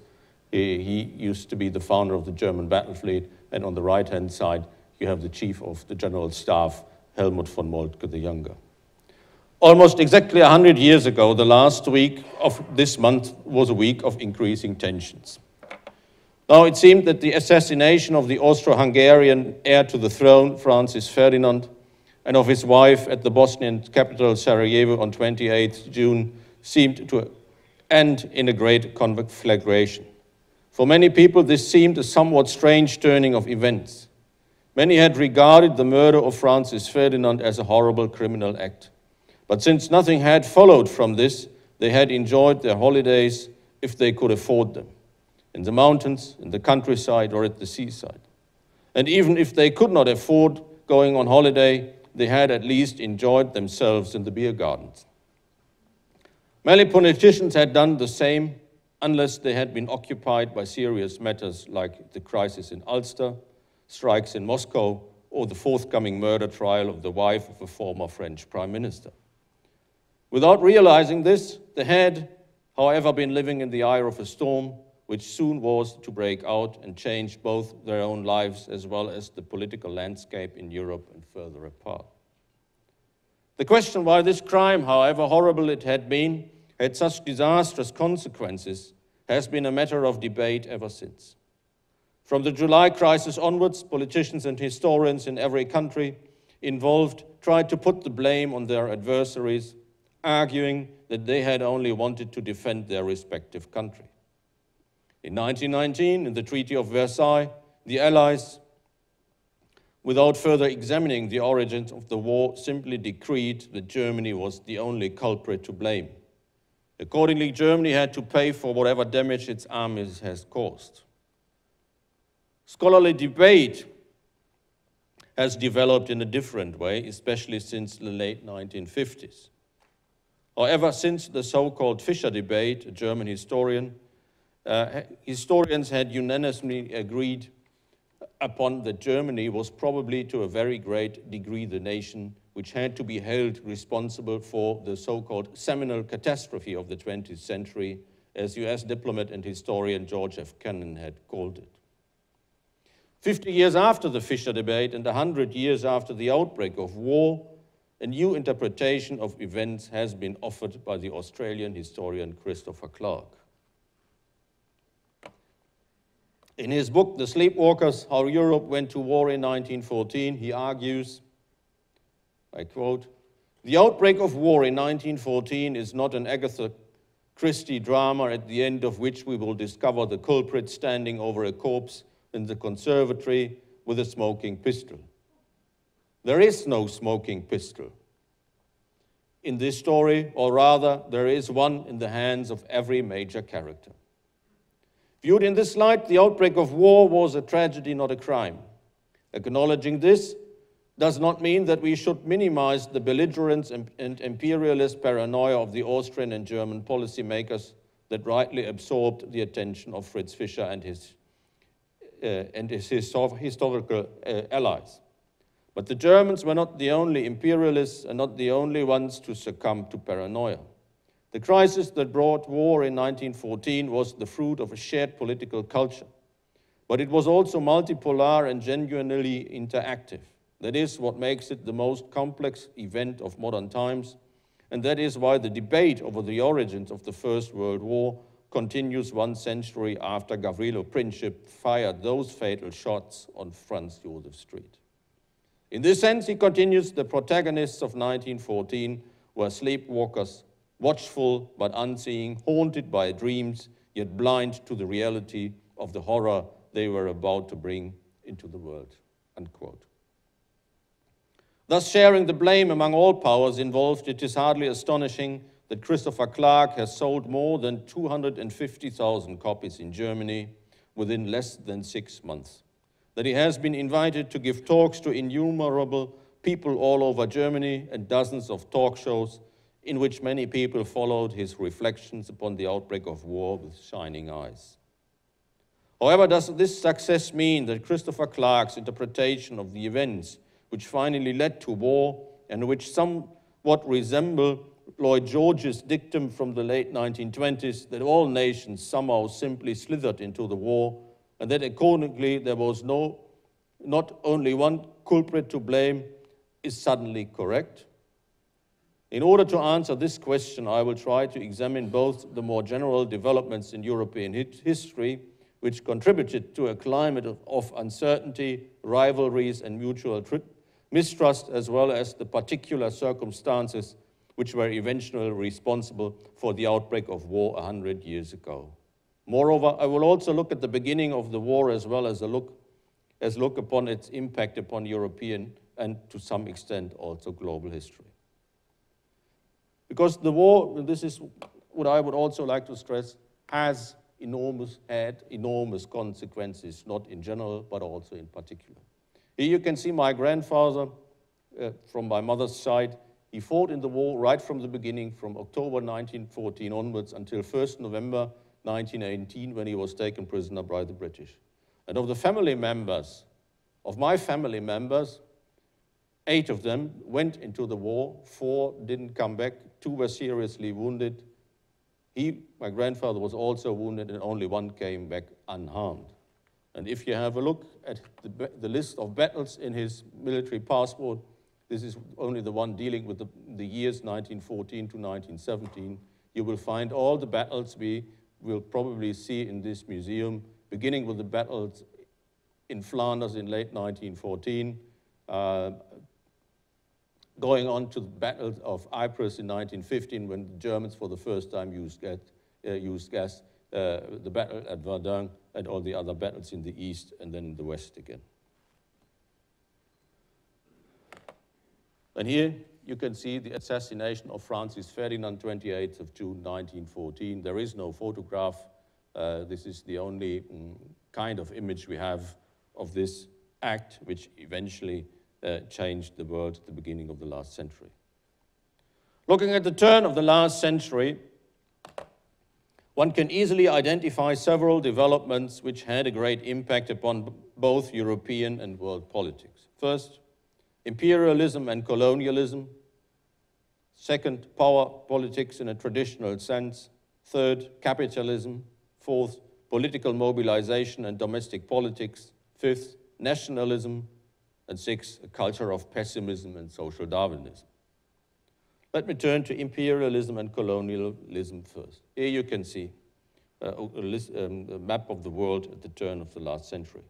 Whereas in the 18th and early 19th centuries, only Britain, France, Spain, Portugal, and the Netherlands had been imperialist powers with possessions all over the world, all European powers, whether they were great or small, began to embark upon a policy of expansion overseas. By pegging out claims in Africa and Asia, Great powers like Britain, France, and eventually even Germany. Here you have the German conquest of Togo, a small country in Africa. Um, as well as small countries like Belgium and Italy, they tried to acquire as much territory overseas as possible. Within less than 20 years, all the white spots in the world became part of a mother country far across the oceans. Second, Imperialism was, of course, closely intertwined with power politics. Only a country with huge possessions overseas seemed a real great power in the second half of the 19th and the first decades of the 20th centuries. The more square miles and inhabitants this country had overseas, the more powerful it seemed in peacetime as well as in the event of conflicts which were thought inevitable. Third, Although the idea that the greed for profit was the decisive factor in the scramble for Africa and Asia, it did, of course, also play an important role. Here you have one of uh, Germany's leading banker, Werner von Siemens, who, who, who, was one of the main supporters of building the so-called Baghdad Railway, uh, which was to um, eventually open up uh, the Middle East for the Germans apart from the financial uh, and uh, industrial um, aspects this involved. In an era in which formerly agrarian countries developed into highly modern industrialized nations, in which their populations increased remarkably in, within short periods of time, and in which people moved into rapidly growing urban centers instead of living a modest life in the countryside, the safe and cheap supply of raw materials and food, as well as markets for the export of manufactured goods to keep the economy running and thus preserve social peace, many statesmen regarded expansion necessary also for this reason. Fourth, without the rise of nationalism, here you see, oh, it's a bit dark, I'm very sorry. Here you can see the German 100 bank mark banknote. Uh, there you can see all the important um, items which the Germans were proud of and which they tried or wanted to show uh, not only to their own people, but especially to foreigners. On the one hand, you have, of course, the Germania, the armed Germania. It has weapons, especially its sword and its shield. And in the background, you can see the battle fleet. Uh, and you also see, of course, all the items uh, depicting uh, the industry as well as, as agriculture. Without the rise of nationalism, this great game over colonies and markets is also unthinkable. Being proud of their own achievements as a nation, not as individuals, many contemporaries were deeply convinced that these achievements had to be rewarded. Talking about the rise of nationalism, however, also means to mention at least its interrelationship with political mobilization and domestic politics. At a time when more and more citizens in Europe demanded and were granted political suffrages, mobilizing nationalist feelings seemed a means of diverting attention from other problems and of rallying the nation behind its leaders. This was also one intention of this uh, banknote. And fifth, nationalism, and this leads us to another important aspect which influenced the mindsets of those responsible for policy making 100 years ago, was in turn closely interconnected with social Darwinist ideas.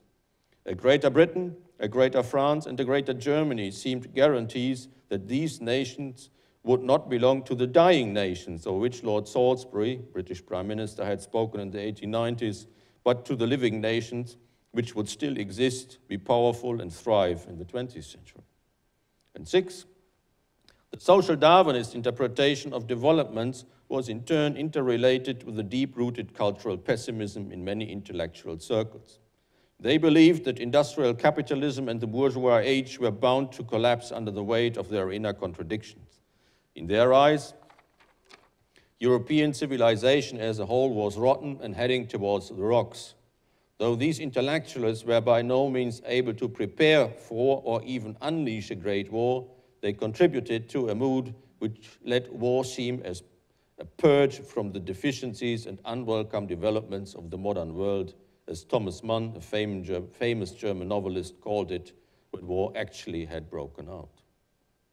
None of these developments alone, however, can, uh, would inevitably have led to the Great War. However, taken altogether, these developments helped frame a mindset which directly or indirectly deeply influenced the thinking and the decision making of those responsible for politics at the turn of the last century. So, taking these de de developments as the background of what was happening around the turn of the century, what was the most disturbing factor which eventually derailed the course of European politics? Unfortunately, it was the German Empire. In many ways, this empire was a latecomer. After the collapse of the Holy German Empire in 1806, due to French pressure, and the establishment of only a loose confederation of 42 states in 1815, a modern nation state was only founded in 1871. And uh, you can see this, and please keep this in mind because we will see a similar uh, slide later on. This is the Hall of Mirrors at the Palace of Versailles, where the German Empire was proclaimed during the Franco-Prussian War in 1870-1871.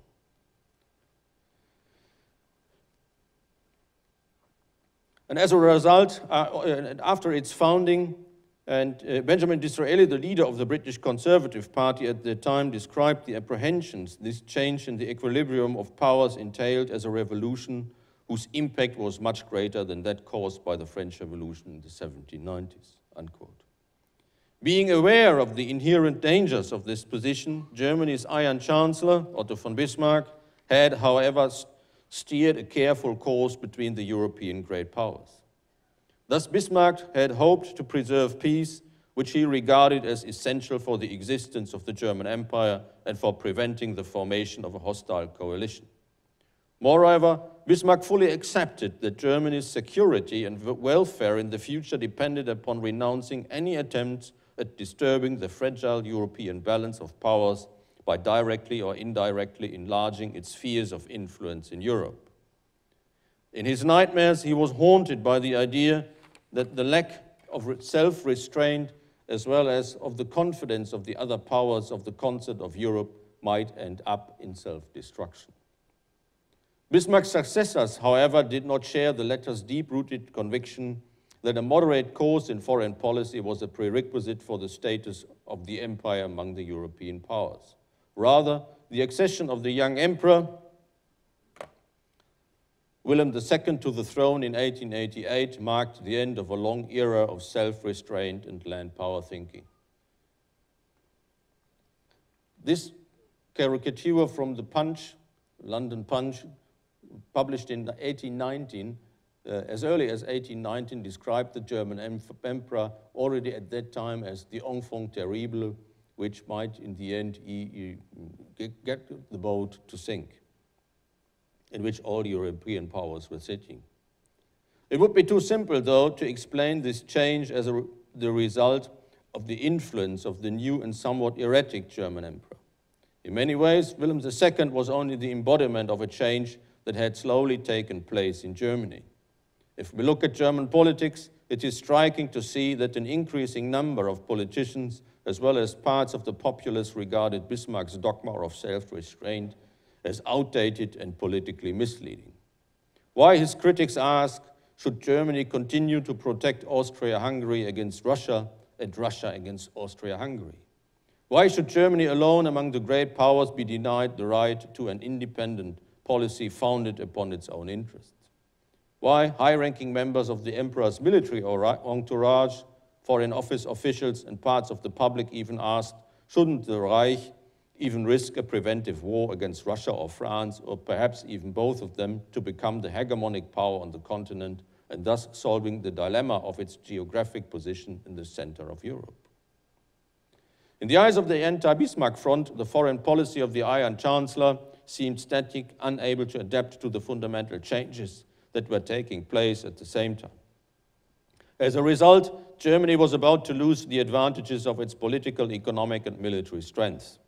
Moreover, following Bismarck's conviction of Germany's role, both in Europe as well as in the world, might eventually even mean the beginning of a decline instead of a further increase of power and political influence, progress, and wealth, and not to forget of political stability at home.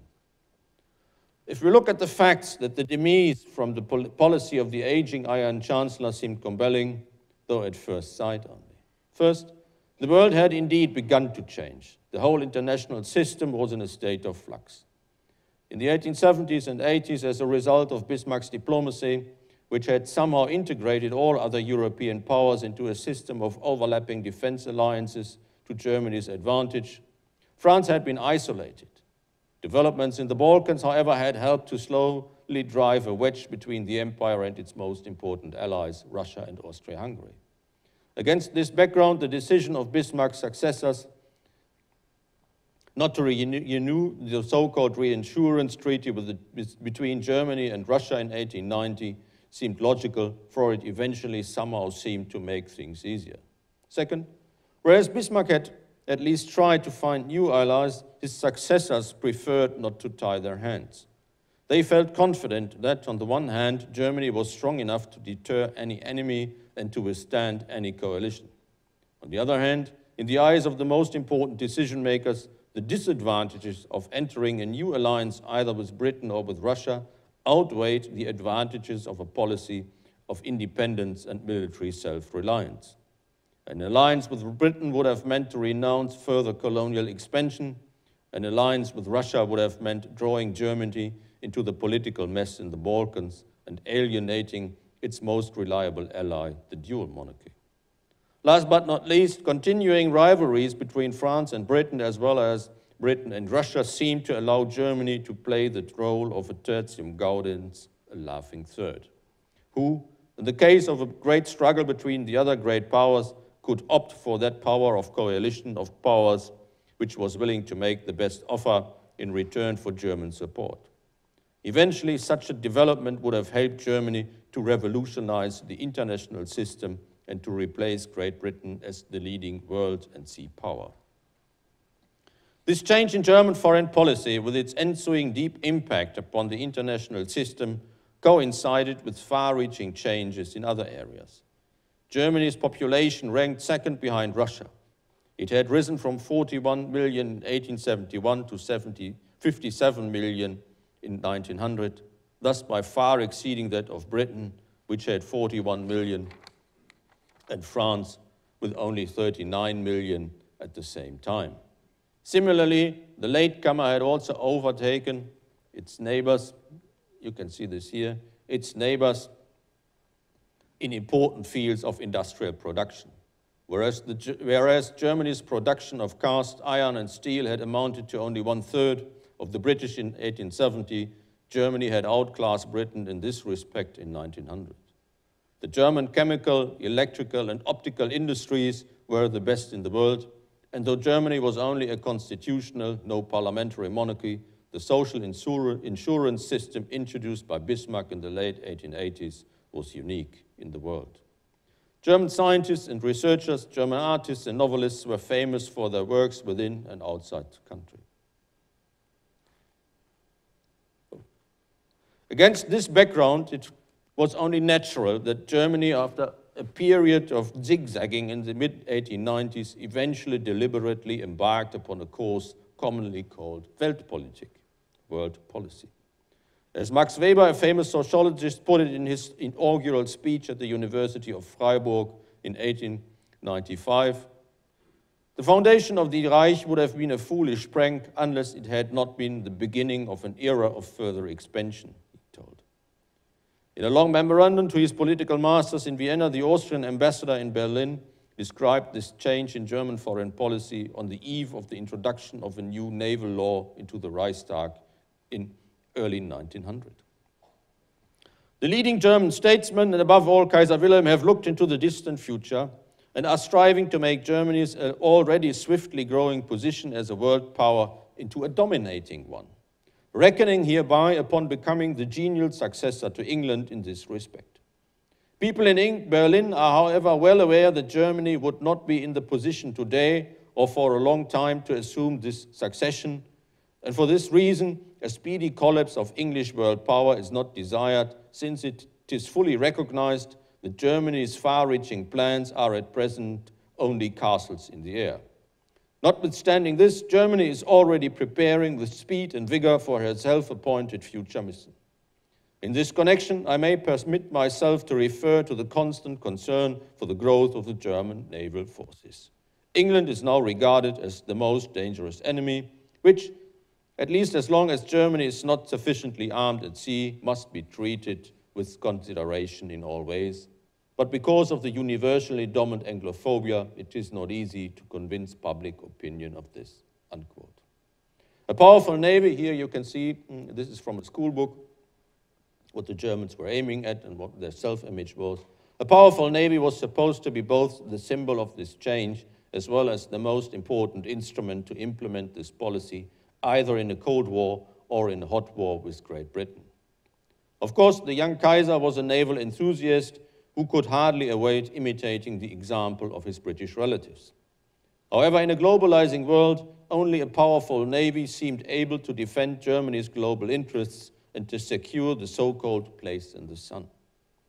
Moreover, sea power, as Tirpitz,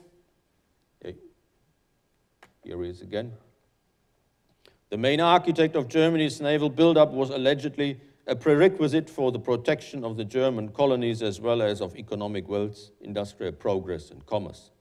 Without a strong navy, Tirpitz kept on arguing, and many people believed him, Germany would be unable to preserve its steadily rising sea interests and subsequently inevitably decline to the status of a pre-industrial poor farming country. Finally, sea power also had important domestic political implications. The government hoped that the acquisition of sea power and the envisaged great success of world policy through the plan carefully designed by Tirpitz would safeguard the overall expansion of German industry, foreign trade, colonies, and the Navy. And what is most important, thus offer a permanent solution to the so-called social problem which threatened the existing political and social order at home. In many respects, the concept Tirpitz developed in the mid-1890s was congruent with the ideas of the prophet of a new navalism, the US naval officer Alfred T. Mahan. From his study of Britain's rise to world power since the Dutch wars in the 1600s, Mahan had deduced the overall importance of sea power for the rise and fall of states. Like Mahan, Tirpitz was convinced that only a battle fleet could defeat the enemy's fleet in order to gain command of the sea and thus attain naval supremacy. Accordingly, this fleet was supposed to consist of 41 battleships, 20 large cruisers, 40 small cruisers, 144 destroyers, and 72 submarines in 20 years' time. This attempt at revolutionizing the international system of powers in Germany's favor by building up powerful, Uh, a powerful navy soon proved the beginning of the end.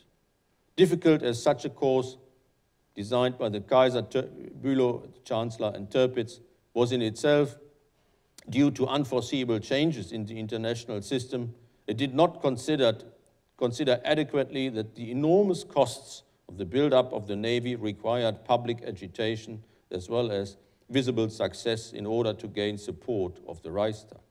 Subsequently, German foreign policy oscillated between the policy of a free hand, attempts at forming new alliances, and political demonstrations like the Kaiser's landing in Tangiers in 1905 or the Panther Leap in 1911, intended to make clear that Germany still was an important player in the great game for the distribution of the world. These offensive and often aggressive interventions in international politics increasingly aroused mistrust among the other powers. These developments became more and more problematic because, on the one hand, they coincided with an open naval race with Britain. I hope you can see this. You can see here uh, in one of the cars, racing cars, which look like battleships, you can see the, the King Edward VII and in, in the other one, you can see um, the German emperor who tries to overtake him. In the end, this will, of course, end in a disaster. From 1906 onwards, both countries built an incredible amount of warships. Public outcries and naval scares further increased tensions between both countries. More importantly, this Anglo-German arms race coincided with far-reaching changes of the international situation. For various reasons, Britain had begun to settle its differences with many of its rivals or potential enemies from the Far East to the European continent. In 1904, Britain and France formed the Entente Cordiale.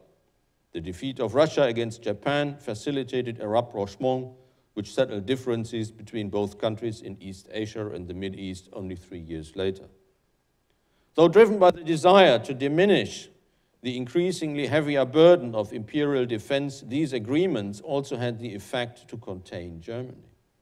However, this did not mean that the future was already foreordained. Despite alarmist reactions in Germany, the Triple Entente that went to war in 1914 still lay beyond the mental horizons of most statesmen. The great turning point of 1904 to 1907 helps to explain, however, the emergence of the structures within which a continental war in Europe became possible. But it cannot explain the specific reasons why that conflict arose. In order to explain this, it is necessary to refer to another development which increasingly began to have an important impact upon German as well as all other powers in Europe, the Balkan crisis. These crises caused by the desire of the Balkan states to become nation states like all other states in Europe first resulted in driving out the Ottomans out of Europe in 1912. Whereas this in itself did not upset the balance of powers, the fact that the Balkan states, especially Serbia, now turned against the only other remaining power in Europe which had possessions in the Balkans, Austria-Hungary, was apt to set the spark on the powder barrel because any Austrian military reaction to the threat it was facing almost inevitably led to a conflict with Russia, the protector of all Slavs. Austria-Hungary was, however, the only reliable ally Germany had. Its collapse would have had severe repercussions on Germany's position in Europe. This meant that Germany in any crisis had no option but to support Austria, even if this meant a European war. Realizing this, as well as Germany's failure to achieve success in world policy, the nation's decision makers had decided in 1912 to strengthen its position on the continent by increasing the German army twice within two years. This in turn caused an arms race on the continent with effects which were even more disastrous than the Anglo-German naval arms race. In spring 1914, Germany's decision makers faced a difficult international situation. On the one hand, relations with Great Britain seemed to improve. After many years of increasing tensions, the naval question almost played no role. Moreover, as a sign of goodwill, in June 1914, a British squadron for the first time in 10 years came to Germany to take part in Kiel Week. Two agreements about minor colonial questions, the future of the Portuguese colonies and the Baghdad Railway, were also ready for signature. Astonishingly enough, even one of the hawks in the British Foreign Office, Arthur Nicolson, shared this opinion. Quote, Since I have been at the Foreign Office, I have not seen such calm waters. On the other hand, several, several events and developments seem to indicate that Germany's security dilemma was increasing. France and Russia were obviously intensifying their efforts to strengthen their military position towards Germany. The new three-year law in France and Russian plans to improve its railway system in its western provinces in order to accelerate the mobilization of its army should be mentioned here. Moreover, reports from a German spy in the Russian embassy in London nourished the feeling that the Triple Entente was on the verge of becoming a real alliance aiming at containing Germany.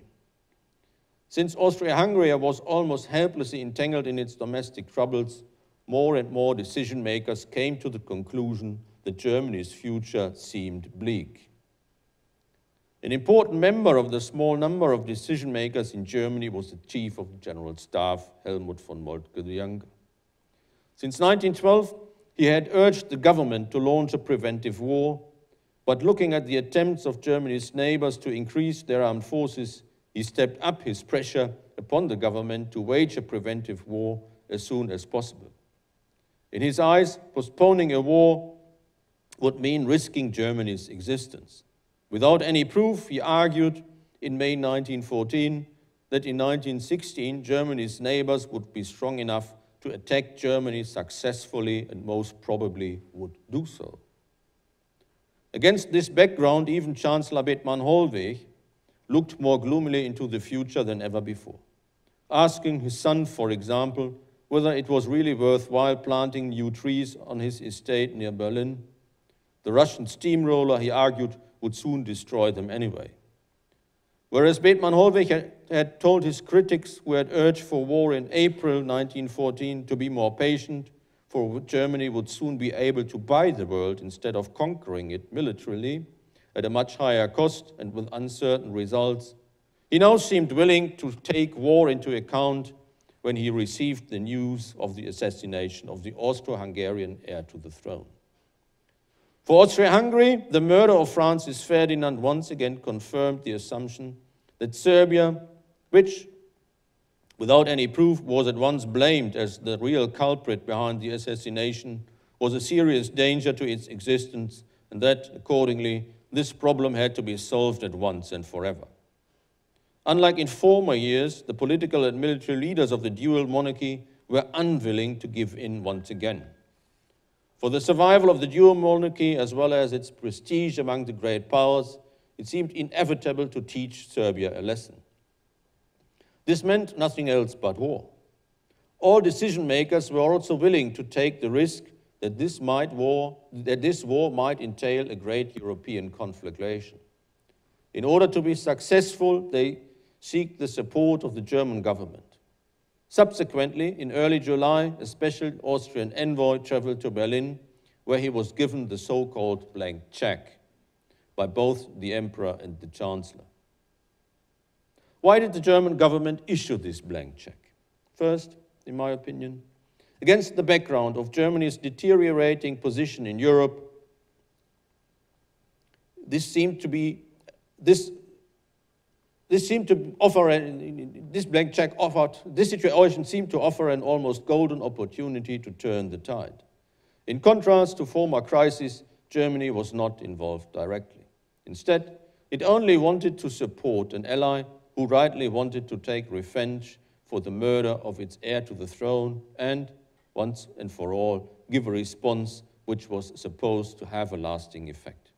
Second, a local war in the Balkans would not only help Austria to contain Serb irredentism, but also stop the latter's steady decline as a great power.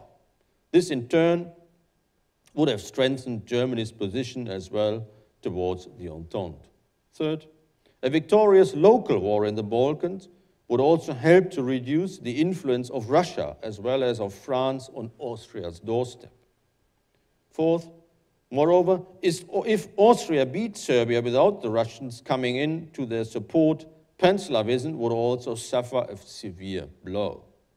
Fifth, if Russia shied at intervening on Serbia's behalf for, for fear of fighting alone, this would be a diplomatic setback, which in return might lead to a crisis of the Entente and thus help enlarge Germany's political freedom of movement.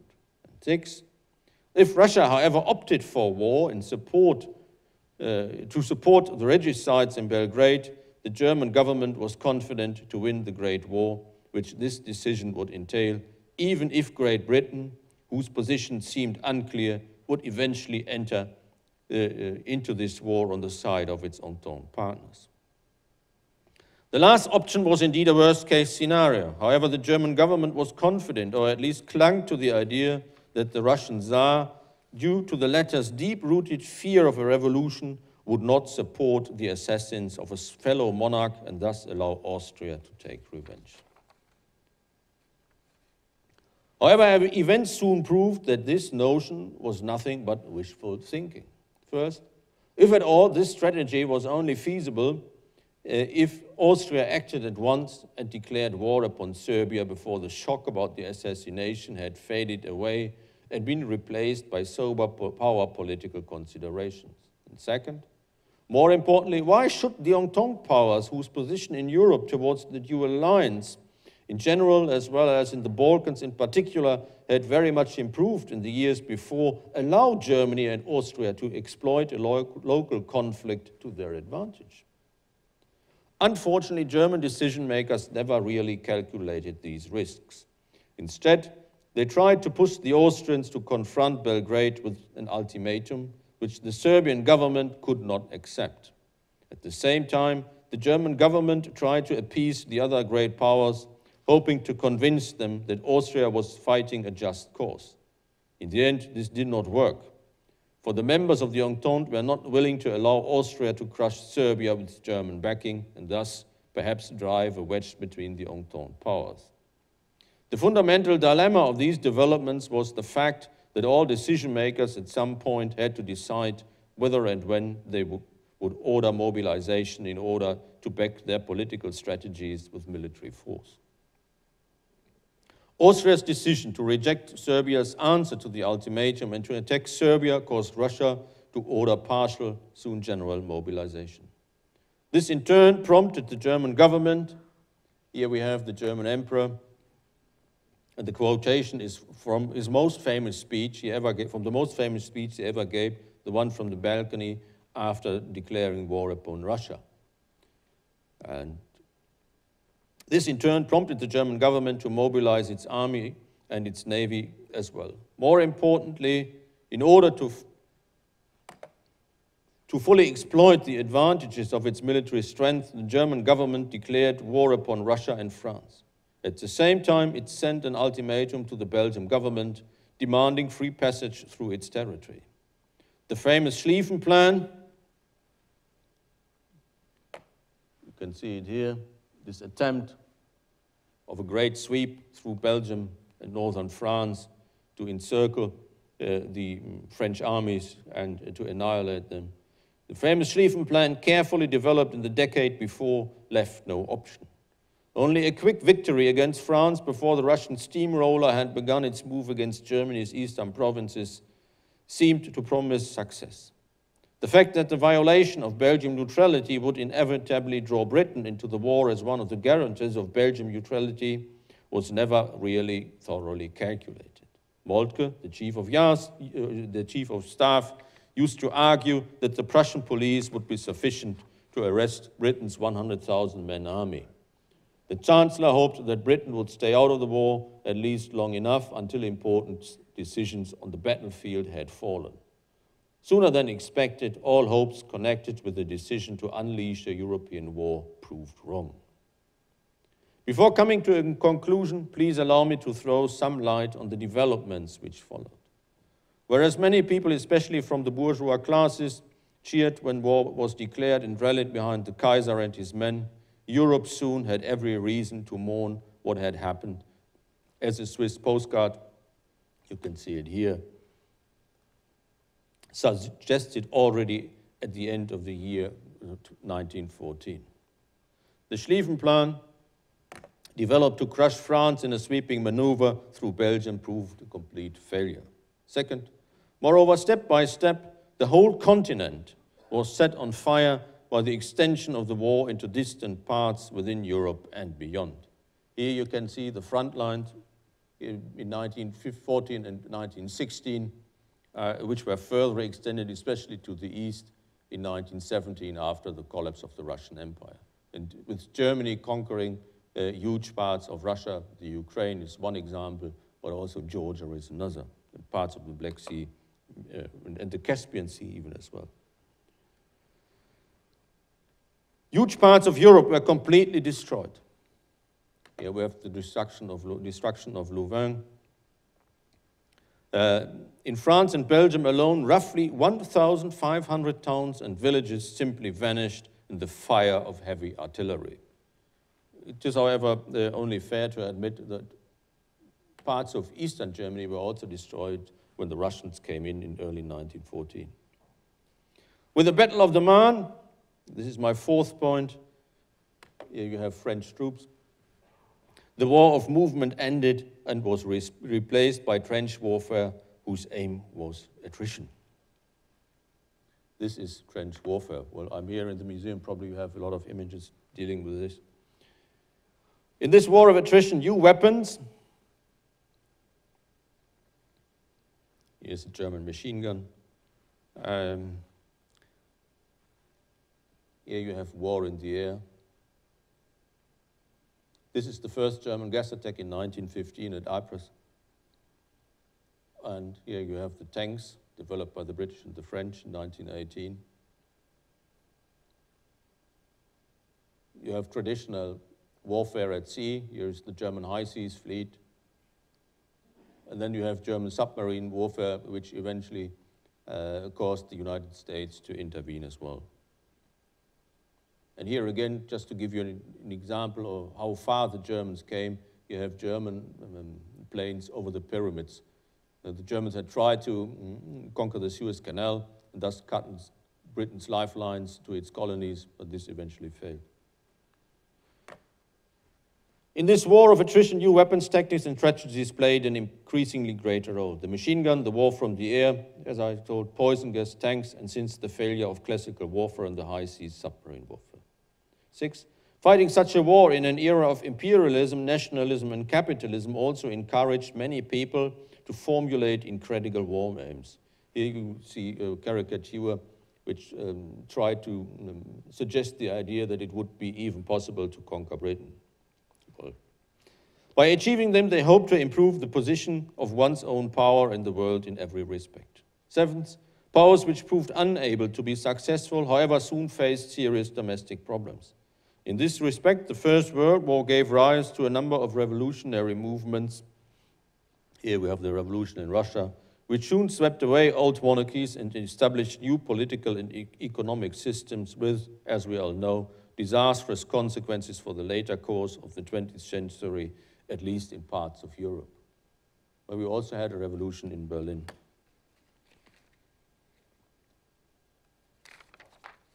And eight, However, not only revolutionary move movements had a deep, uh, deep, impact upon the later course of the 20th century, this also applies to the failure of the victors to conclude a peace, which those, you remember, the, the uh, founding of the German Empire and um, the Treaty of Versailles was signed at the same place. Uh, this also applies to the failure of the victors to conclude a peace which those they had defeated could have respected. Unfortunately, this proved impossible after a war which had been fought mercilessly, in which more than 10 million soldiers had lost their lives and many more had been wounded, in which huge landscapes were, had been devastated, and in which millions of civilians had lost their homes or had become victims, and in which whole economies had begun to face bankruptcy.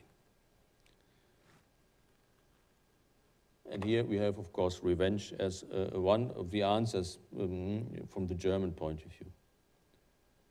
Conclusion. In, first, in my opinion, there can be no doubt that Austria and Germany have to bear the greater share regarding the responsibility for the outbreak of the war. They were determined to launch a local war in the Balkans, fully aware of the fact that this might also cause a European, if not even a world war. Second, when they decided upon this policy of political brinkmanship, they had, of course, only a vague idea of what kind of war they were risking. In the event, instead of being an almost surgical strike, the war turned out to be an almost total war, which soon included all societies in which was fought in many parts of the world. Third, the, they also had no idea of the consequences this war might have. It destroyed three empires, the Ottoman, the Russian, and the Austrian, without establishing a new stable order. It threw many parts of Europe into decades of revolutionary turmoil and civil war, thus supporting the rise of fascism not only among the losers, but also the victors of war. Italy is the best example. It destroyed flourishing economies, which took years and American money in the 1920s to recover slowly. It destroyed the confidence among European politicians and many others for decades, a very important point from my opinion. And most importantly, it destroyed the lives of millions directly or indirectly. The almost complete manhood aged between 20 and 40 years had almost been wiped out in many countries. It took those who survived and their families years to overcome these experiences. Unfortunately, at least in Germany, too few were willing to learn from it. Instead, they thought that a new war remedying the results of uh, one lost before might open up a bright future. This conviction proved to have even more disastrous results than the one they had lost before. But this is another story. Thank you very much.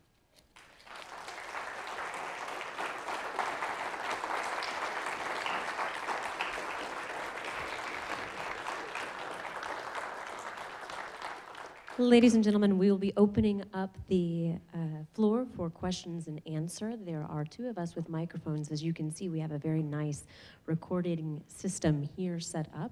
If you'd like to review more, you can always uh, watch on C-SPAN at a later date or also visit the World War I Centennial Commission's YouTube channel. But if you do have a question, we'd ask that you raise a hand and that you speak through the microphone that we could record it.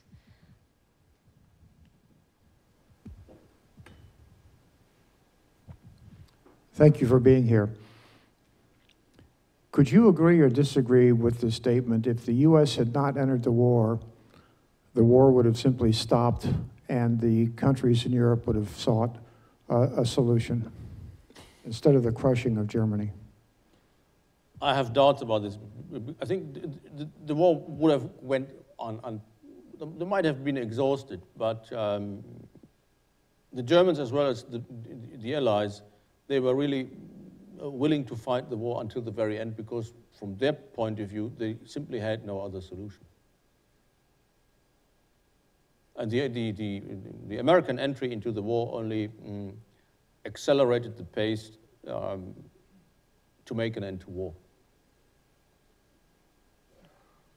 Um, I, will ask this question. I don't know if, how you want to respond, but um, I don't know if you're familiar with the, I read the most recent issue of The Economist, uh, which mentions that, of course, the sleepwalkers is being, as you began, uh, widely read in Germany these days.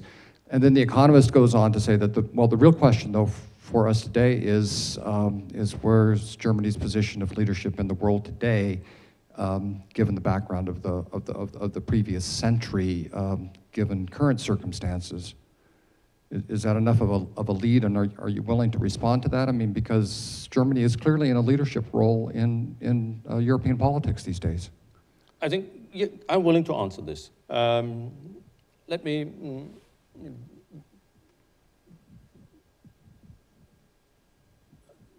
give you one thought. Uh, there is one big difference we always have to keep in mind. In 1914, Germany stood up against the world and it did it deliberately. Today, Germany, which already at the beginning of the last century could have bought the world instead of conquering it, now is willing, perhaps, because it has learned its lesson in history, um, to fight for a world, or to preserve a system, an economic system, a social system, and an international system together with its allies. And this is something I think we will never forget.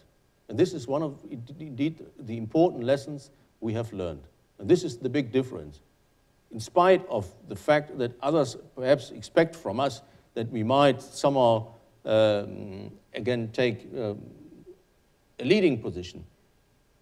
All politicians in Germany, from my point of view, uh, have realized that we can only act together. And uh, this is something we, we will never forget, and we will always try to do, and we should try to do. But there is, and this is, uh, there's a big consensus on this.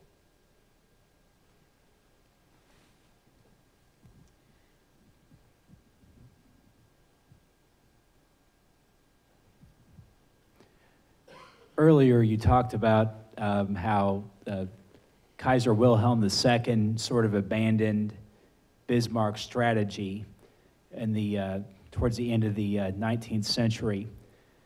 And so my question is, had Bismarck's strategy not been abandoned, would the 20th century have unfolded differently, or do some of the other things you outlined, some of the cultural issues, would those have made some sort of major war inevitable?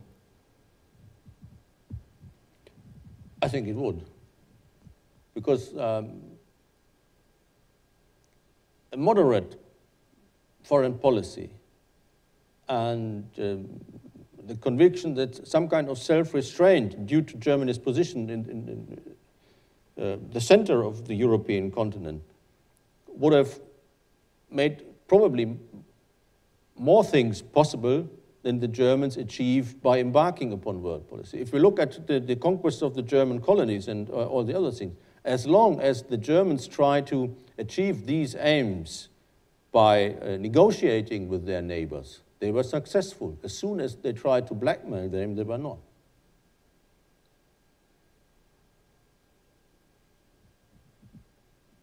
Those might be the words that we end on today. And if I might repeat a statement that you made, uh, at the end of our uh, commemoration here on a, with our public programs for the centennial, the outbreak of the centennial of the war, uh, we would hope that all political leaders learn that it is negotiations and acting together that will continue to lead us forward well into the 21st centuries. Dr. Epkenhans, thank you so very much for being here today.